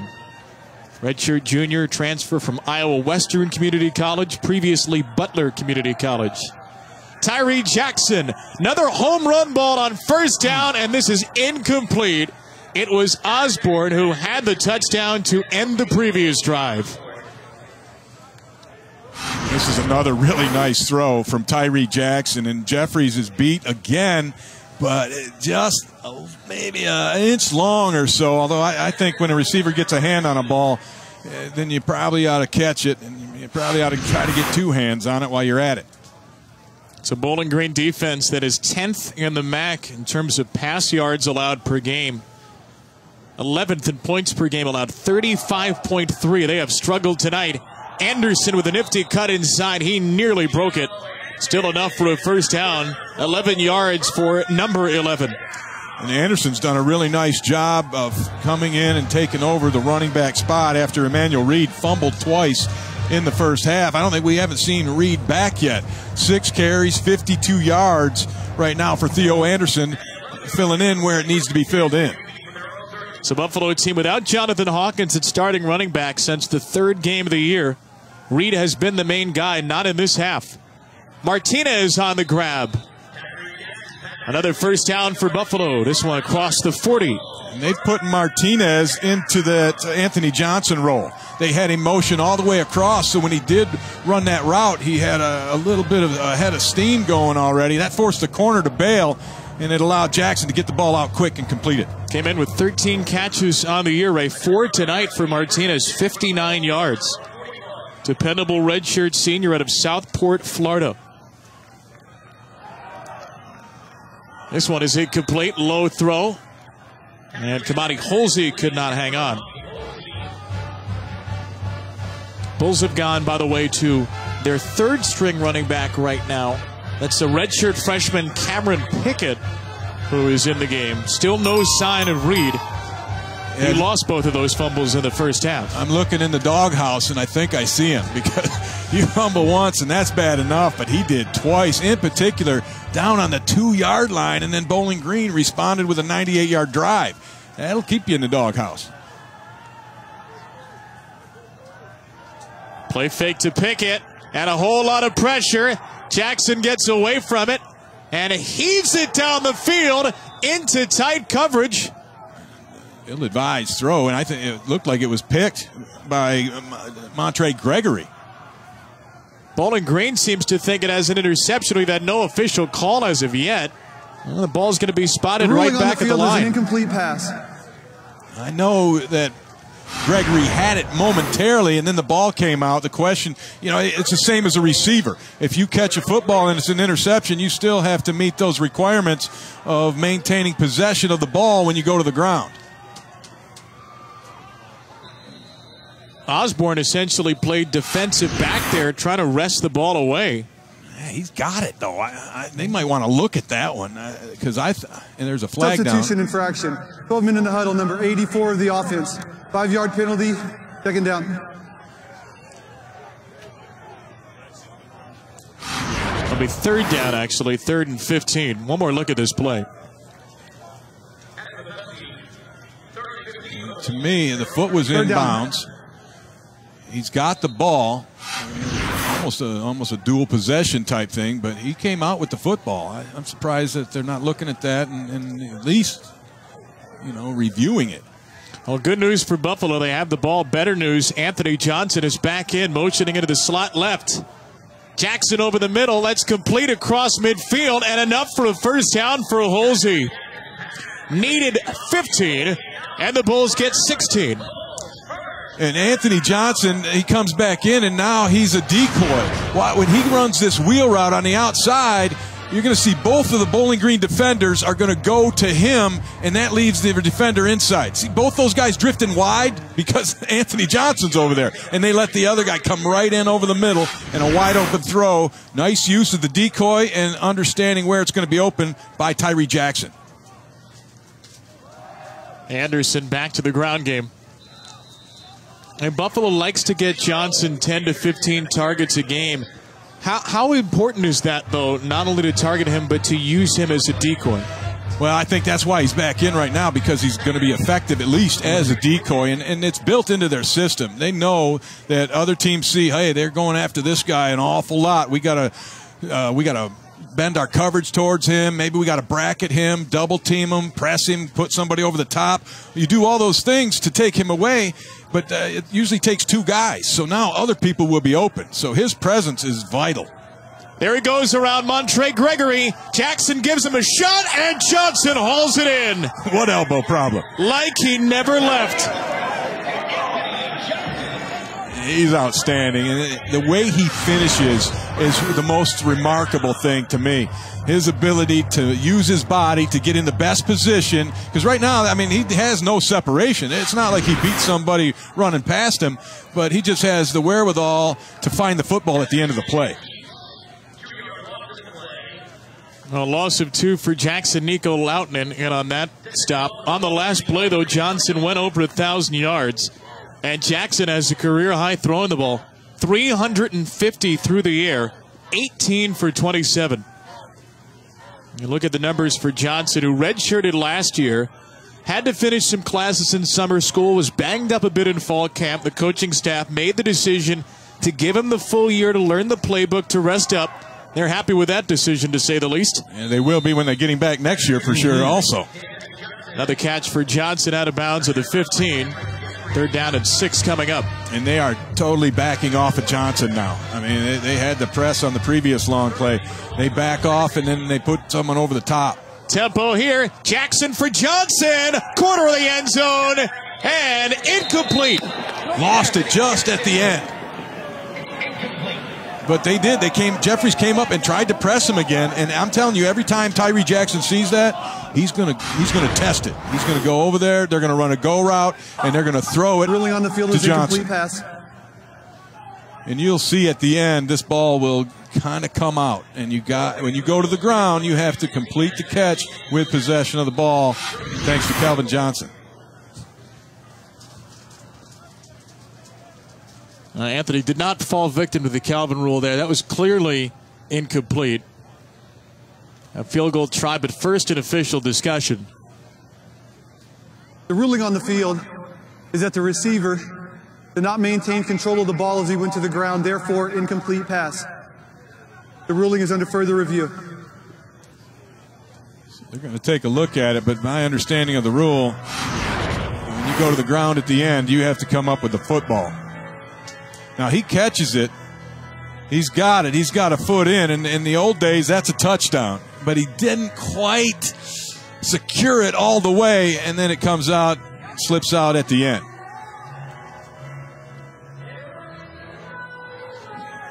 You saw the ball slide a little bit in his hand, and that's After why. the ruling on the field is confirmed. Incomplete pass, fourth down. That's why it was confirmed. So Buffalo will bring the kicker out. This is not a strength of theirs. No. Adam Mitchison, a third year starter, but he is just 11 out of 18 this year. And he's missed a couple of potential game winners late, and, and uh, two of their one-point losses, and those those uh, make you lose confidence. Not only the kicker lose confidence, but the coach losing confidence in the kicker. Hold your mittens.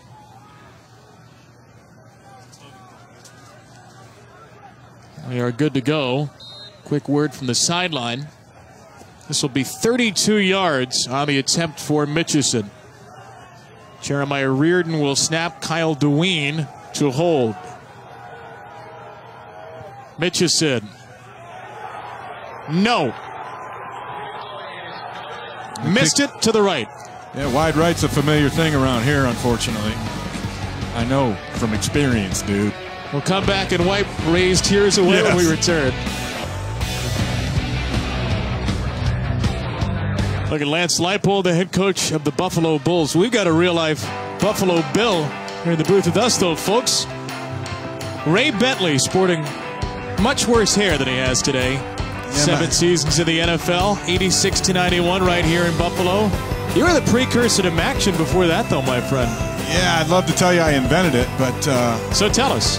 Nobody will fact check you. all right, I invented it back in the day. but yeah, I loved my time both with the Bills and Central Michigan, and, and I wouldn't change a thing if I could. Incomplete pass for Doege. You played here, you coached here in the Arena League as well. What is the character like of the city for folks that haven't been to Buffalo? What makes Buffalo Buffalo? It's blue collar, it's real people, uh, friendly, and God, they love their football around here. I can tell you that firsthand. And, and we had, I, I got to tell you, the most wonderful experience. Those those glory years in the early '90s with the Bills. Uh, that'd be nothing like it again. Uh, I can't imagine anyone else having that kind of run. Doege got a hit up high and ripped down. Demone Harris with his team leading fourth sack of the season. And Harris, uh, he's been effective all night coming around the edge, and he does it again. This is really a bull rush. He, he just takes the offensive tackle, Austin Labus, and deposits him back in the quarterback's lap, and then with that long uh, arm span, the wingspan he has, reaches out and makes himself a sack. Both these ends, Demone Harris and Chuck Harris, no relation, have been outstanding for Buffalo throughout the season and tonight. Doege needs to get to the 30 here, and he will. Pass complete, right in stride to Pugh. Janarvis Pugh, the redshirt sophomore out of Hollywood, Florida, just his ninth catch of the season, and it goes for 28. Miles Nicholas has pressure on Doege, but it doesn't matter. And you mentioned he steps up into the pocket again. His pocket awareness and movement is eh, so it's it's an instinctual thing. He's been doing it for a long time. He's seen it, but he is outstanding at it. Doege will flip it out here. A soft one and a big hit from Roberts coming up. He got Scott Miller, who has been active in the middle of this defense, six yards on first down. And that's another uh, basically a sight adjust uh, slash audible. And Doege saw that the safety was about 10, 11 yards deep off of Miller. And so they both know, hey, hitch that thing up and take your six yards. Josh Cleveland back in as the running back. Doege keeps it, and he didn't see anything there. No, and had he been able to get it away from Cleveland a little more clean, he probably would have got around Chuck Harris. But in that instance, Harris was given a little extra time because Doege was trying to wrest the ball away from Cleveland. Falcons came into the game tied for 108th in the nation on third down. Tonight, they are 7 for 11. They have five wide receivers in the ball game here in this empty set.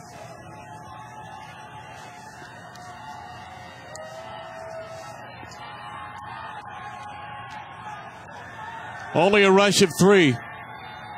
Incomplete from Doege. There was nobody home there. No, he changed his mind after he, he saw, at the last second, he saw Khalil Hodge, the linebacker, lurking in the hole. And so he pulled the string on the throw because had he thrown it to the receiver, this is going to be a pick by Hodge. You see him right sitting in the middle there, and that was just a good decision by Doege late to make that throw because he was looking for the freshman Morris. Mike Jinks told us the best thing about Doege last week was he threw some balls away. Mm-hmm. Osborn nearly bobbled the punt, catches it off his chest, and ends up with a good return out to the 34. Colby Coleman on the stop. Friday on ESPN, it is the sixth annual Armed Forces Classic honoring America's heroes and kicking off college basketball. SEC and Big 12 contenders Texas A&M and West Virginia from Ramstein Air Base in Germany at 6 Eastern. That's midnight in Germany. Available on the ESPN app. Excited to see this Mountaineers team and Jevon Carter, the Big 12 reigning Defensive Player of the Year, playing that frantic, up-tempo pressing style that Bob Huggins loves. Anderson on the ground for Buffalo as the Bulls begin another possession. Four yards on first down for the redshirt freshman who's become their bell cow. No sign of Emmanuel Reed after two fumbles in the first half. And Anderson has stepped in and done a really nice job. And he's a bigger back at 5'10, 220 pounds. And and he's had some nice runs, and it's been a little more difficult to tackle him than some of the other guys. This is a Buffalo team that was just 2 and 10 last year, coming in at 3 and 6, needing to win out to become eligible for a bowl game. They've lost six games by less than five points per on average. Over the middle, Johnson with a couple of broken tackles. and another as he dives down to the 42. That's a really nice throw from Tyree Jackson. He slid it in. The linebacker, Nate Locke, almost got there, but he gets it in quickly into that little seam, and then watch Johnson go after he makes a catch. He's exciting.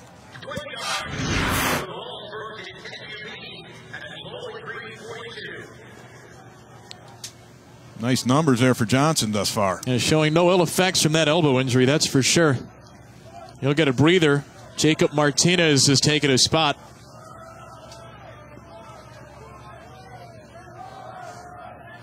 This is the first touch for Pickett. And Cameron Pickett with a nice run on first down.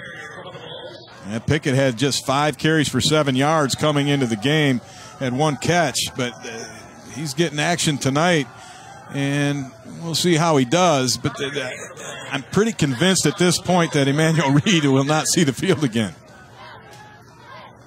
This is a Buffalo team that is on nine days rest after a one point loss at Akron Saturday, the 28th of October. And they finally got a few days off. They mm-hmm. had played every weekend of the season uh, prior to getting that little time off, and uh, they, they needed it, and they, they look well rested. Jackson heaving it over the middle, and that was nearly intercepted. Clint Stevens got his hand on it. The target was KJ Osborn. There were two men in the area. Stevens making a, uh, the underneath coverage, and then they had to throw it over the top of him. And that's why, you know, if there's one thing maybe that Tyree Jackson needs a little bit more work on is, is taking a little bit of that uh, steam off the ball and putting more air under it. You know, a lot of his throws, although that one deep ball, he got it way up in the sky. But on some of the more intermediate throws, he heats them up a little much. Johnson back in the game, wide to the left. Jackson not looking his way. That is a steamer of a throw. A heat seeking missile to Mabry for a first down. Nice little route by Mabry. He's going to run a wheel stop. Uh, a lot of times you see these wheel routes where they go all the way up the field. You try and sneak somebody outside the corner. This time he runs that outside the corner route and then breaks it off, and then the throw and the timing is perfect. And that's a nice grab. Second of the game for Mabry, who is a high school teammate of KJ Osborn. Both out of Ypsilanti, Michigan. They both ended up at IMG Academy, that football factory down in Florida.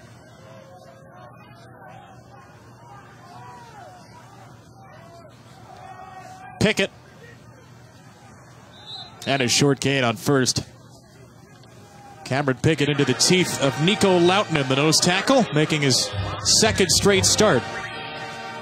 Buffalo has done extremely well with the passing game, but you have to mix a run in there every once in a while, and, and that's what that play was all about. Down to a minute remaining here in this third quarter. Tyree Jackson has thrown for nearly 400 yards for Buffalo, but Bowling Green has continued to bounce back. Yeah, they're hanging in there, aren't Couple they? Of timely takeaways. Buffalo missed a field goal the last drive to keep them within one score. It's it's just one of those games, and when you let a team hang around, you want to be real careful because they'll come up and get you, and, and that's what Bowling Green plans to do. Bulls do have to snap it one more time in this third quarter after the four-yard run by Anderson. Where do you look here? Third and five on the edge of the red zone. I'm going to try and uh, involve number 83, Anthony Johnson, at some point, whether he's the uh, primary target or I use him as a decoy. Now he's wide left. There's not a safety over there. Instead, it's a run for Anderson across the 20, and it is a first down. That's a really nice play call, and you had an outstanding block by KJ Osborn in the slot that That's allowed him to get that quarter. extra yardage. Lance Leipold and his Bulls running all the way to the other side of this field. They lead by seven. They'll look for a two-score lead when we return to the fourth. Fun little MACtion game here on a Tuesday night. Buffalo looking to stay bowl eligible at home.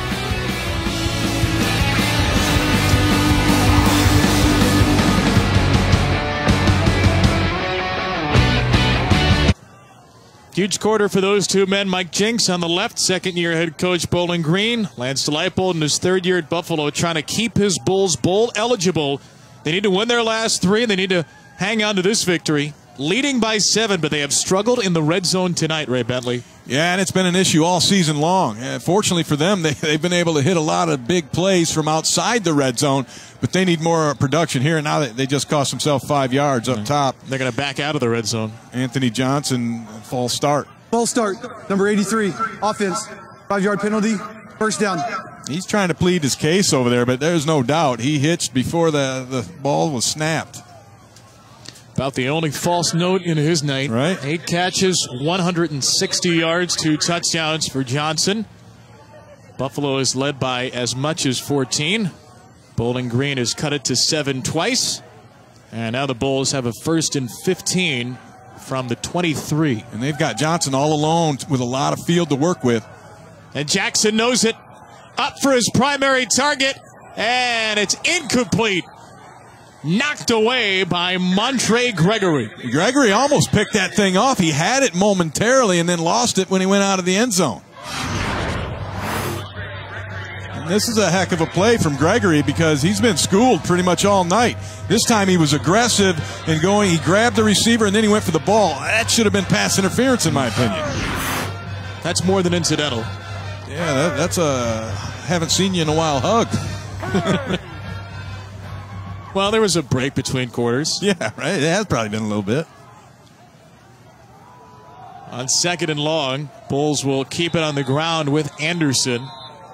Not much doing. Nate Locke, terrific middle linebacker, fills the hole. And this is a big third down for Buffalo, which just had Adam Mitchison miss a 32 yard field goal. Yeah, y'all make you almost think they're in four down territory with the, the way the kicker's functioning, but I, I don't know. We'll see what they do on this third down. Well, from here it'll be about 38 if you don't get any yards.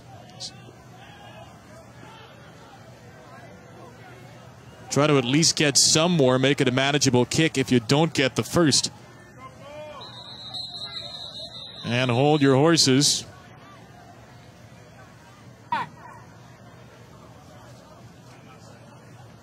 Timeout. Bowling Green. First time out of the half. 30 second timeout. Mike Jinks, Perry Eliano want to talk it over before this critical third and long. And they obviously didn't like the way they were uh, lined up and decided they would change that. We've got a great game for you Saturday night. Playoff rankings just came out today. Notre Dame stayed number three. Miami moved up to number seven. Irish and Kane square off 8 Eastern, 5 Pacific on ABC and streaming live on the ESPN app. Miami is the longest win streak in the country dating back to last year 13 in a row. Their last loss last year at Notre Dame. Fun matchup of dual threat quarterbacks here, too. Brandon Wimbush for the Irish, Malik Rosier for the Hurricanes, had a big win over Virginia Tech last week. Yeah, I think they opened some eyes. There was some question about who have they played. Uh, those will be answered here in these last couple weeks. On third and 13, Jackson. A lot of defenders in coverage, and he finds his receiver, Kamani Holsey. Gregory on the stop. So no first down. This will be at least a more manageable field goal, and the Bulls will bring on Mitchison. Jackson did a really nice job. That was his third read. It's the third man in his progression. He was looking deep, then he was looking for the first slant inside. Neither of those were there. He looked out to that third, uh, the other slant from the outside and drilled it in there. So that's good quarterback play, even though they didn't convert. Mitchison missed from the right hash from 32. This from 31. And he got it. Adam Mitchison connects, and Buffalo's lead is 10.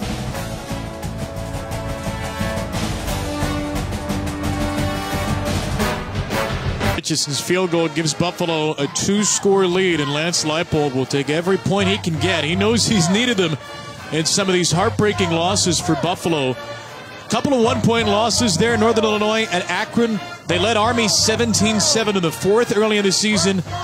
And of course, the Western Michigan game, time for the longest game in FBS history. 71 to 68 was the final. You flip two of those games, Buffalo's 5 and 4, and maybe bowl eligible with a win tonight. You flip one of them, they have a good chance. But as it stands, the Leipold's team has to win out to make it to the postseason. Matt Wilcox for Bowling Green trying to make something happen in the return game. And a spinorama up near the 35. Let's talk about that seven overtime game a little bit. Folks in Buffalo don't want to talk about it much. Western Michigan came into town. FBS record 139 points, a four and a half hour game. Tied for the longest game by overtimes in FBS history, and it wasn't even a Tyree Jackson led Buffalo team. Drew Anderson, the backup quarterback, had an awesome performance, but Jarvion Franklin won it for Western Michigan. And then Anderson in the next game went down with a season ending shoulder injury. Bulls had to turn to the true freshman Kyle Vantrease for a start. Good start to this drive. Clair high stepping it near midfield for Bowling Green. 16 yards, first down. I love it at the end of that play. Clair acted like he was going to go out of bounds and then step back into the face of the defender and delivered a blow. But to get back to Buffalo, I think it's a little misleading to see three and six. Yes, yes they've had some injuries, and every team does, but to an unusual extent, and some of these losses have been uh, just bad luck, tough to explain otherwise. Yeah, I, I, have to agree. And, and, you know, in talking to coach, he said we are vastly improved across the board. We just haven't turned that into wins yet, and that's what the next step is for this Buffalo program. Doege, another deep ball, one on one, and Guyton makes the adjustment to reel it in. What a play by the Oregon State transfer, locked up with Brandon Williams for 39 and that's a 50-50 ball, and they love the way that Jarret Doege will give his guy an opportunity. He overthrew a couple early on, but since that time, he's been very good throwing the ball down the field, and that's a huge play. From the 11-yard line, Clair. And a late flag comes in from behind the play, thrown by the referee, Ron Hudson. Nose uh, looks like they're pointing at Buffalo. Personal foul. Legal hands to the face. Number 91 of the defense. Half the distance to the goal. Automatic first down. That's Demone Harris. He's working on Austin Labus and just got the hand slid up into the grill, and they're going to get you on that. Uh, you know, that's one uh, point of emphasis. They're looking for it, and you see Harris on the outside, 91, and the hands just slip up and get up into his throat. Can't do that. You got to get it out of there. Doege to throw it from the two, flicks it out to the far side. What a toss, and it's reeled in for a touchdown by Miller. Beat the safety, Tim Roberts, but this is your a classic rub route. It's two guys right at the on that left side, and they just crisscross, and that created the separation and allowed for a perfect throw from Doege to land into Miller's breadbasket. Gets nice air under that football, and there's really no chance to stop it. Bowling Green answers again quickly. What an answer it was. Jarret Doege in there. They're never out of a ball game. 66 yards in 79 seconds, Ray. How about the play of this young man and his receivers? He's been outstanding, and you got to, I mean, don't count Bowling Green out. It's been one of those kind of nights, and with Doege throwing dimes, they're still in it.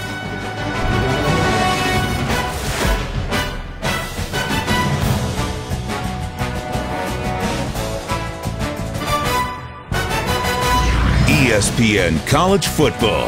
Brought to you by Sam Adams. Fill your glass. And Allstate, official protector of college football fans. Fun Tuesday night it's been in Buffalo. Fun to have action back, these midweek games, and this is an awfully consequential one for the Bulls. They need to hang on, need to win out to make a bowl, but Bowling Green is not going down quietly. The true freshman Jarret Doege, the redshirt sophomore Tyree Jackson have been awesome tonight. they really have. I mean, the numbers uh, are pretty self-explanatory, but Jackson and his ability to heave it downfield, he gets a little edge in the yardage. But both of them have been extremely accurate. They've made excellent decisions. Uh, no, no uh, egregious interception type throws, and they've been able to move the ball down the field. And we've got us a barn burner here, and I don't know if Buffalo's too excited about a close game in the fourth no. quarter. Bowling Green has not led tonight and trailed by 14 twice. They've cut it to three. This kickoff will be fielded by Osborn inbounds. Makes one defender miss. Dances along the sideline and is upended across the 30.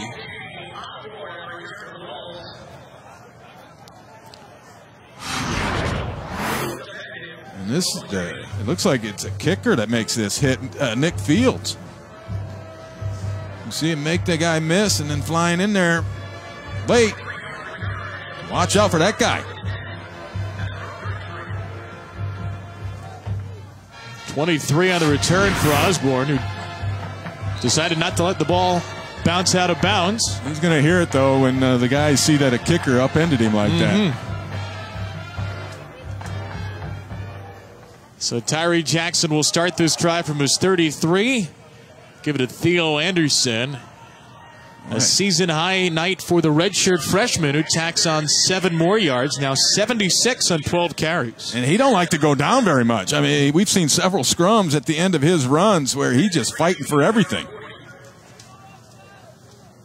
If you're just joining us and you're wondering where is Emmanuel Reed, Buffalo's starting back, he's in the doghouse. He lost two fumbles in the first half. Did run in a touchdown, but lost the second fumble at the goal line. Anderson has played almost the entire second half with some help from Cameron Pickett.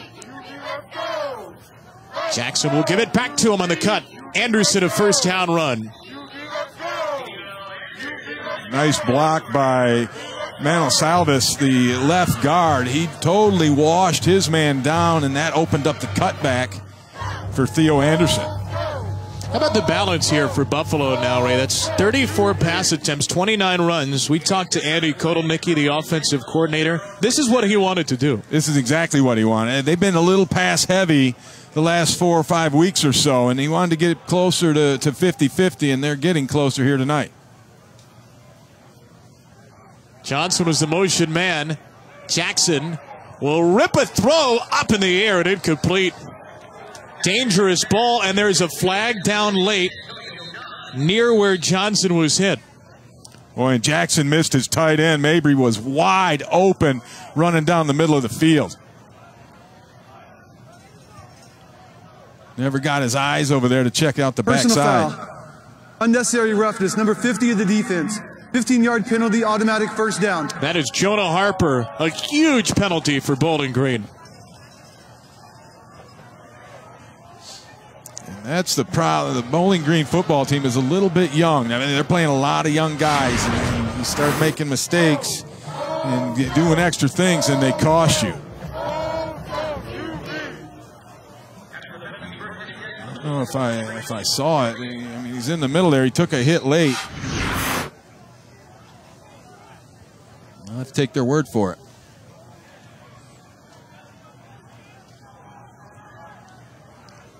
It's Buffalo Bulls coming off a one point loss at Akron 10 days ago. So many close calls this year, hoping to finish a game in the fourth quarter. Anderson plunging ahead for two.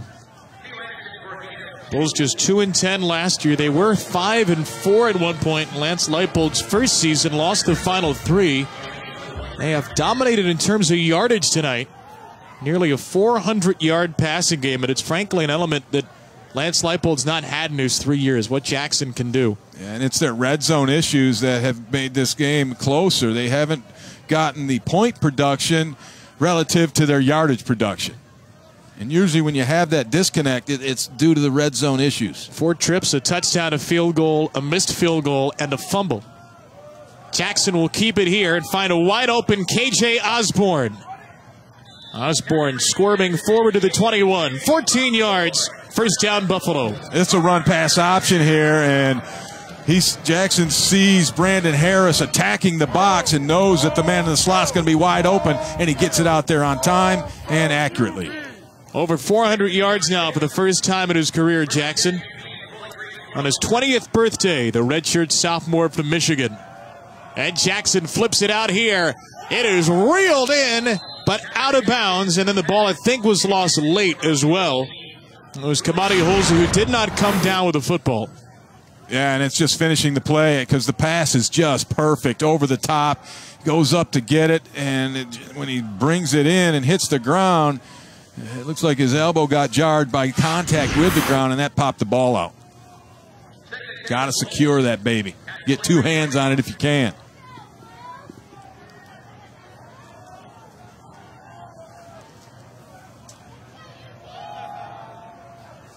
A nice bounce away from Anderson here, oh. and then he bulldozes his way through Cameron Jeffries. That was a really nice run. First of all, he gets a little bit stacked up behind his offensive tackle on the left side, but he keeps running through that, and then he busts the edge. And when he gets the edge, he's got a full head of steam coming, and, and then it's lookout time. He's run the ball really well tonight. Closing in on 100 yards, 98 on 15. Extra tight end Molinich is in. Anderson driving his way in. He won't go down. He scores a Buffalo touchdown. And you got to give the assist to Tomas Jack Cardilla because he took his man from that right guard position and ran him five yards out of the way, opening up a huge hole that Anderson blasted through. Watch the left guard, or excuse me, right guard. He is going to take that guy in the one technique on the inside and just walk him out of the deal. That was Lawton at number 54, 6'3", 276, blown up by 6'4", 302. Got put on some skates right there. Well, he is from Montreal, Mr. There you go. Second touchdown run of Anderson's career. The Bulls back up 10.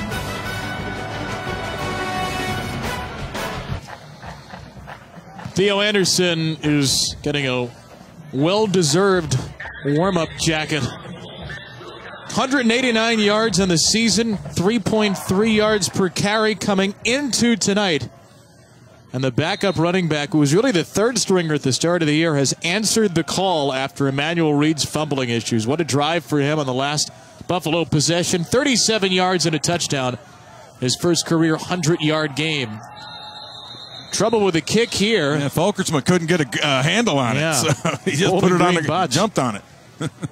Long way to go for the Falcons from their own 20. Saturday, ESPN college football playoff spots are on the line. Clemson's got to win out, you'd think, to make it. The defending champs out Florida State, who is still trying to spoil somebody's season. 3.30, then Alabama, Mississippi State at 7 Eastern. Both games on ESPN and streaming live on the ESPN app. See if the Crimson Tide are challenged in Starkville as Jalen Hurts faces a good dual threat in Nick Fitzgerald. Doege and Bowling Green are the first and 10 after the kickoff. And look at this hit. Tatum slack. Oh, he just blew up Andrew Clair. Yeah, he didn't give him any slack on that that one. That's how you come up and make a hit. He, he blew Clair up on his quick little out route. If You ever wondered how you're supposed to uh, attack after a, a ball is caught in front of you? Now you know. Would you call that a slack attack, Ray? Yeah, I will. Yard for Clair here, third and four, at a huge one for Bowling Green coming up. Chibuzi Onwuka with the stop. Well, Bowling Green is running out of time here. Offense has not been the issue, but they are down two scores with eight minutes to go. They love Scott Miller at number three in the slot, the trips to the top. Doege looking that way. Pocket breaks down. Doege knocked away. Khalil Hodge. And, uh, they, Bowling Green, uh, that might have been picked had Hodge not dropped it, uh, knocked it down because it looked like there was another guy right back behind him. Hargrove was waiting to pick that thing off. See number 16 up there. He had his eye on that one. He might have stolen it. But still a nice play by Hodge coming in there on the blitz, keeping his eyes active and ready, and then batting that thing out of the air. Huge play for that Buffalo defense, forcing this punt. And it's a fake. Or not. Or is it? Uh, what's he going to do? Or it is. First down. Davidson on the run. He didn't look like he knew what he no. was going to do. He wasn't sure. Now, they give you uh, an option if they trust you anyway as a punter. And when you do that rugby style kick, you can run, and if you can keep running, then you keep going. second, but though. it's going to be on Bowling Green. Uh, uh, looks like a illegal, Illegal formation. formation. More than four players in the backfield on the offense. Five yards from the previous spot. Replay fourth down. Oh, and those are the things that will drive a coach crazy. Because now instead of uh, converting it on a, on a play that uh, you weren't really counting on, now you got to go back and try to kick it again. You're going to start to see some gray hairs sprouting from underneath that winter cap of Mike Jinks. Boy, does that crush Bowling Green. Yeah, they almost had a huge break on a heads up play by Davidson. Hey, if nobody's going to stop you and tackle you, keep running it. They did a nice job of that, but they lined up wrong. What do you think? Fake it again, just for fun? No. Davidson will kick it away. Not his best kick of the night, although it's been a strong night for him, and he does get a Bowling Green bounce. Might be worn out from running. Yeah, I wouldn't blame him. Good karma for him, I suppose, after making the run 47 yards thanks to the roll.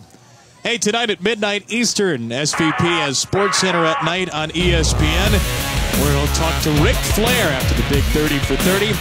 Also, break down the Bucks and Cavs, a showdown between LeBron and Giannis. Everything you need to know as well about the latest college football playoff rankings. Top five stay the same. Sports Center with Scott Van Pelt, also on the ESPN app.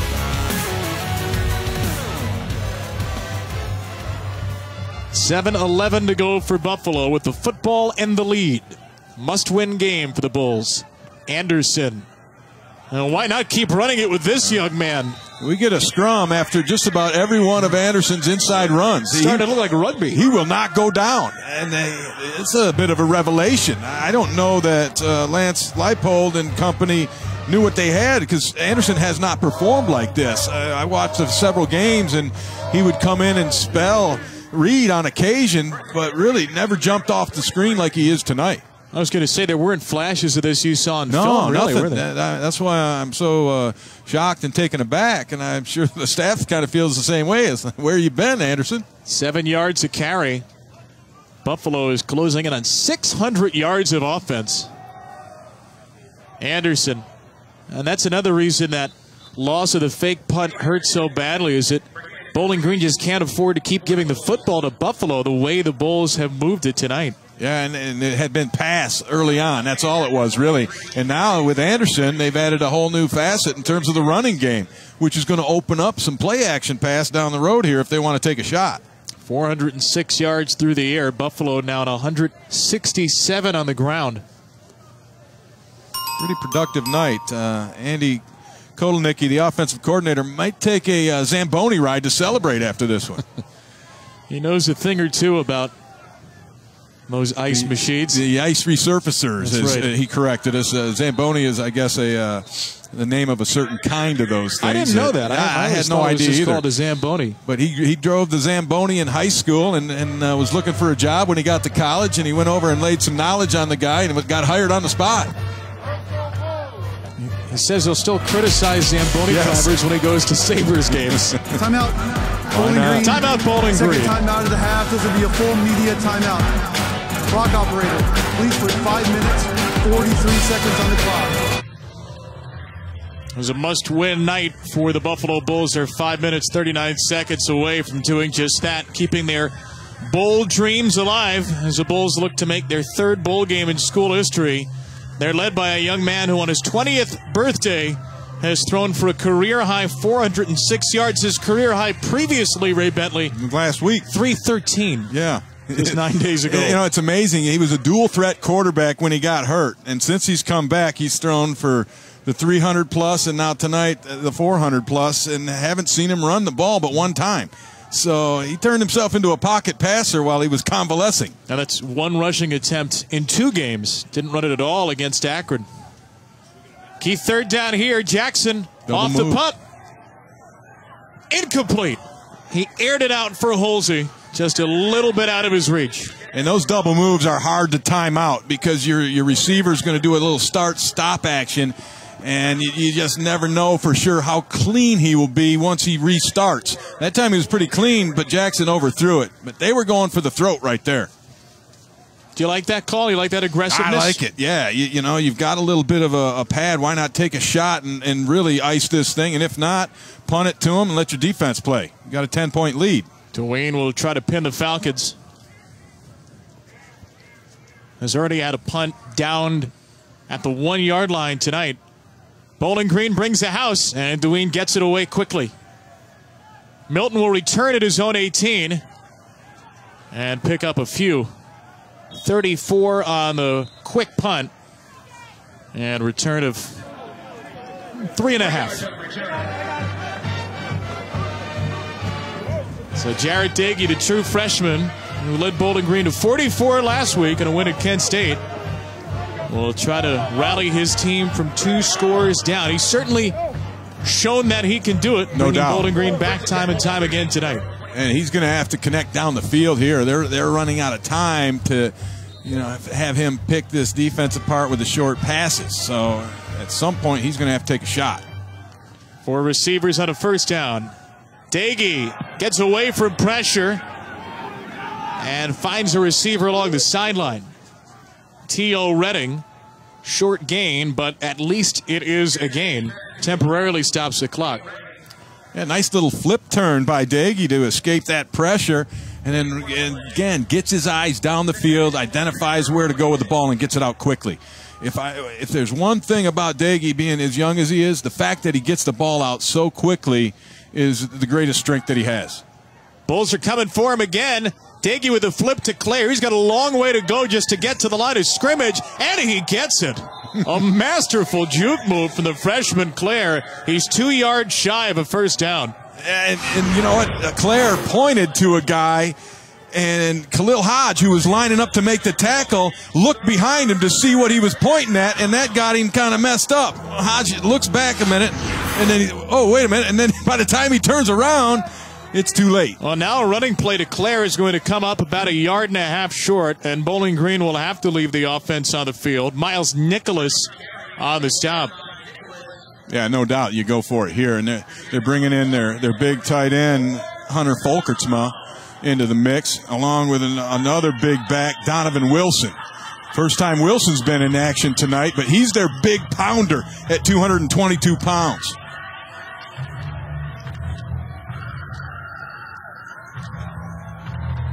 Wilson with his first touch. Pulling his way forward, and on second effort, he got the first down. He ran over right to get that first down, and the, uh, you know, at first it looked like, oh no, you don't run sideways on a short yardage play, but he got the shoulders turned back upfield at the end, and that's what gave him his power back. That's just him knowing I got to get there, and he did. Number 45, Listed out for one play, his helmet came off. Wilson has to leave the field after the first down. Wilson ran for over 100 yards against Buffalo last season. In fact, three guys ran for over 100 yards Cleveland, and then their, their other back, uh, Trent Green, who has since graduated. We have an official discussion with 333 remaining. Had a few of those tonight. Mm-hmm. Have to go a little bit quicker here if you're Bowling Green, right? Down by two scores. Yeah, yeah at some point, you, like I said uh, initially when they started this drive, got to throw the ball down the field and take your shots. Now they do have uh, Guyton down here at the bottom of the screen set up, and he'll be uh, uh basically facing one-on-one coverage. Please reset the game clock to three minutes, 52 seconds. That was the end of the last play when the helmet came off. 352. So 19 more seconds for Bowling Green. And they'll take every one of them.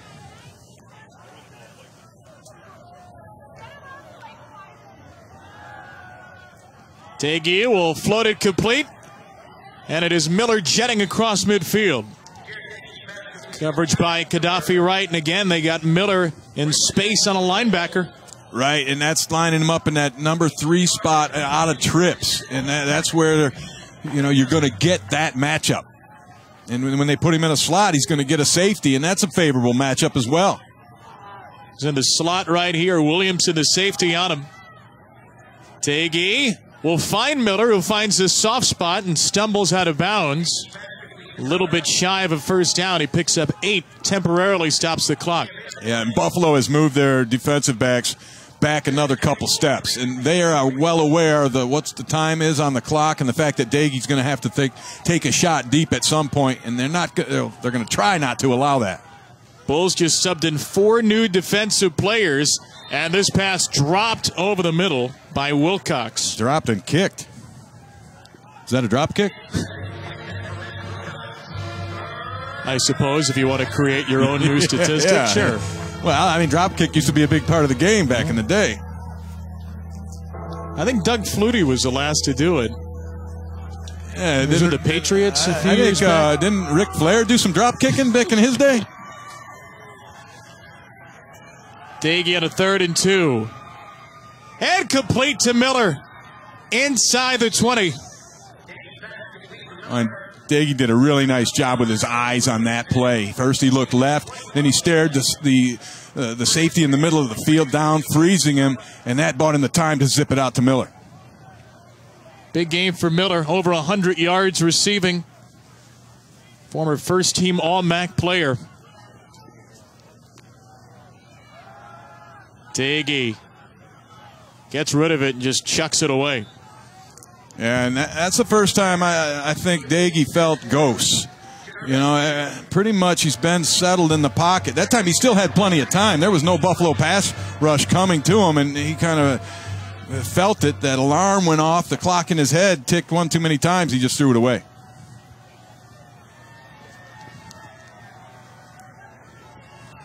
Falcons down two scores from the Buffalo 20.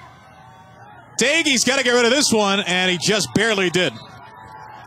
Incomplete. Yeah, Kennedy Emesby coming around the corner and to the backside, the blind side, and Doege never saw him. And Emesby, he could have done some serious damage. That's him on the left side, and he's just going to speed rush this thing and get home. A little grab and pull move.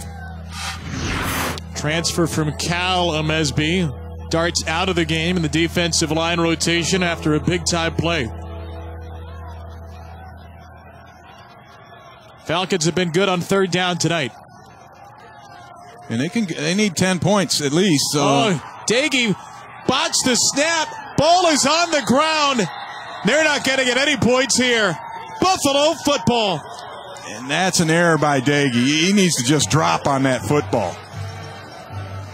Ruling on the field is a fumble recovered by the defense. First down, Buffalo. Chibuzi Onwuka got his hands on it. But uh, Doege's a little too casual on this one because he'll just reach with one hand to pick it up. He still's trying to stay in it, but uh, you, you got to understand that that ball is too valuable. You got to just pop on that one and take your field goal try. That's the second time, Ray, that Chuck Harris is forced to fumble, knock the ball out. And the Bulls with only one Bowling Green timeout, can all but bleed it away. Yeah, Doege initially fumbled it and then uh, tried to pick it up, and that's when Harris came in and did his dirty work.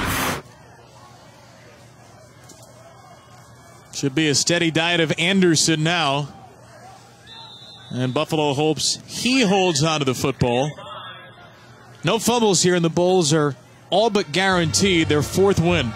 So many close calls yeah, this year. it's a little early to say that around here, isn't it? Sure. The they've been this year. Only one timeout, though, okay. for Bowling Green. There was so many close calls this oh, year for Buffalo. This been, would be an uh, enormous feel good win, frankly. Yeah, it's been a heart wrenching season. I mean, they have been on the cusp and, and had opportunities and, and, missed a couple of kicks in their one point losses and the, the grueling seven overtime loss to Western Michigan. I mean, some heartbreaking things, enough for a lifetime.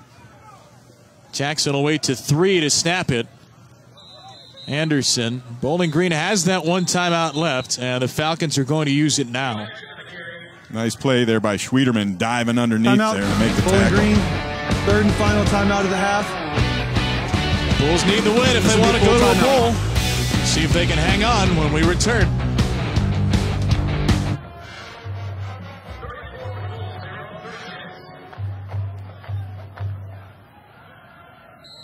The first down run. Anderson will take it, and he has the first down. Fitting that Theo Anderson would put the cherry on top after a career high 130 plus rushing yards. Redshirt freshman has played almost every down of offensive football in this second half. And I'm thinking you're looking at next week's starter as well. Because with a performance like that, you ride that hot hand. And yeah, you'll you'll you'll let it Reed out of the, the doghouse. You'll give him a few reps here and there, but right now, uh, it's Anderson's job, and he took it tonight in the second half mostly. Well, the bottom line for Buffalo is this was a game they could not lose.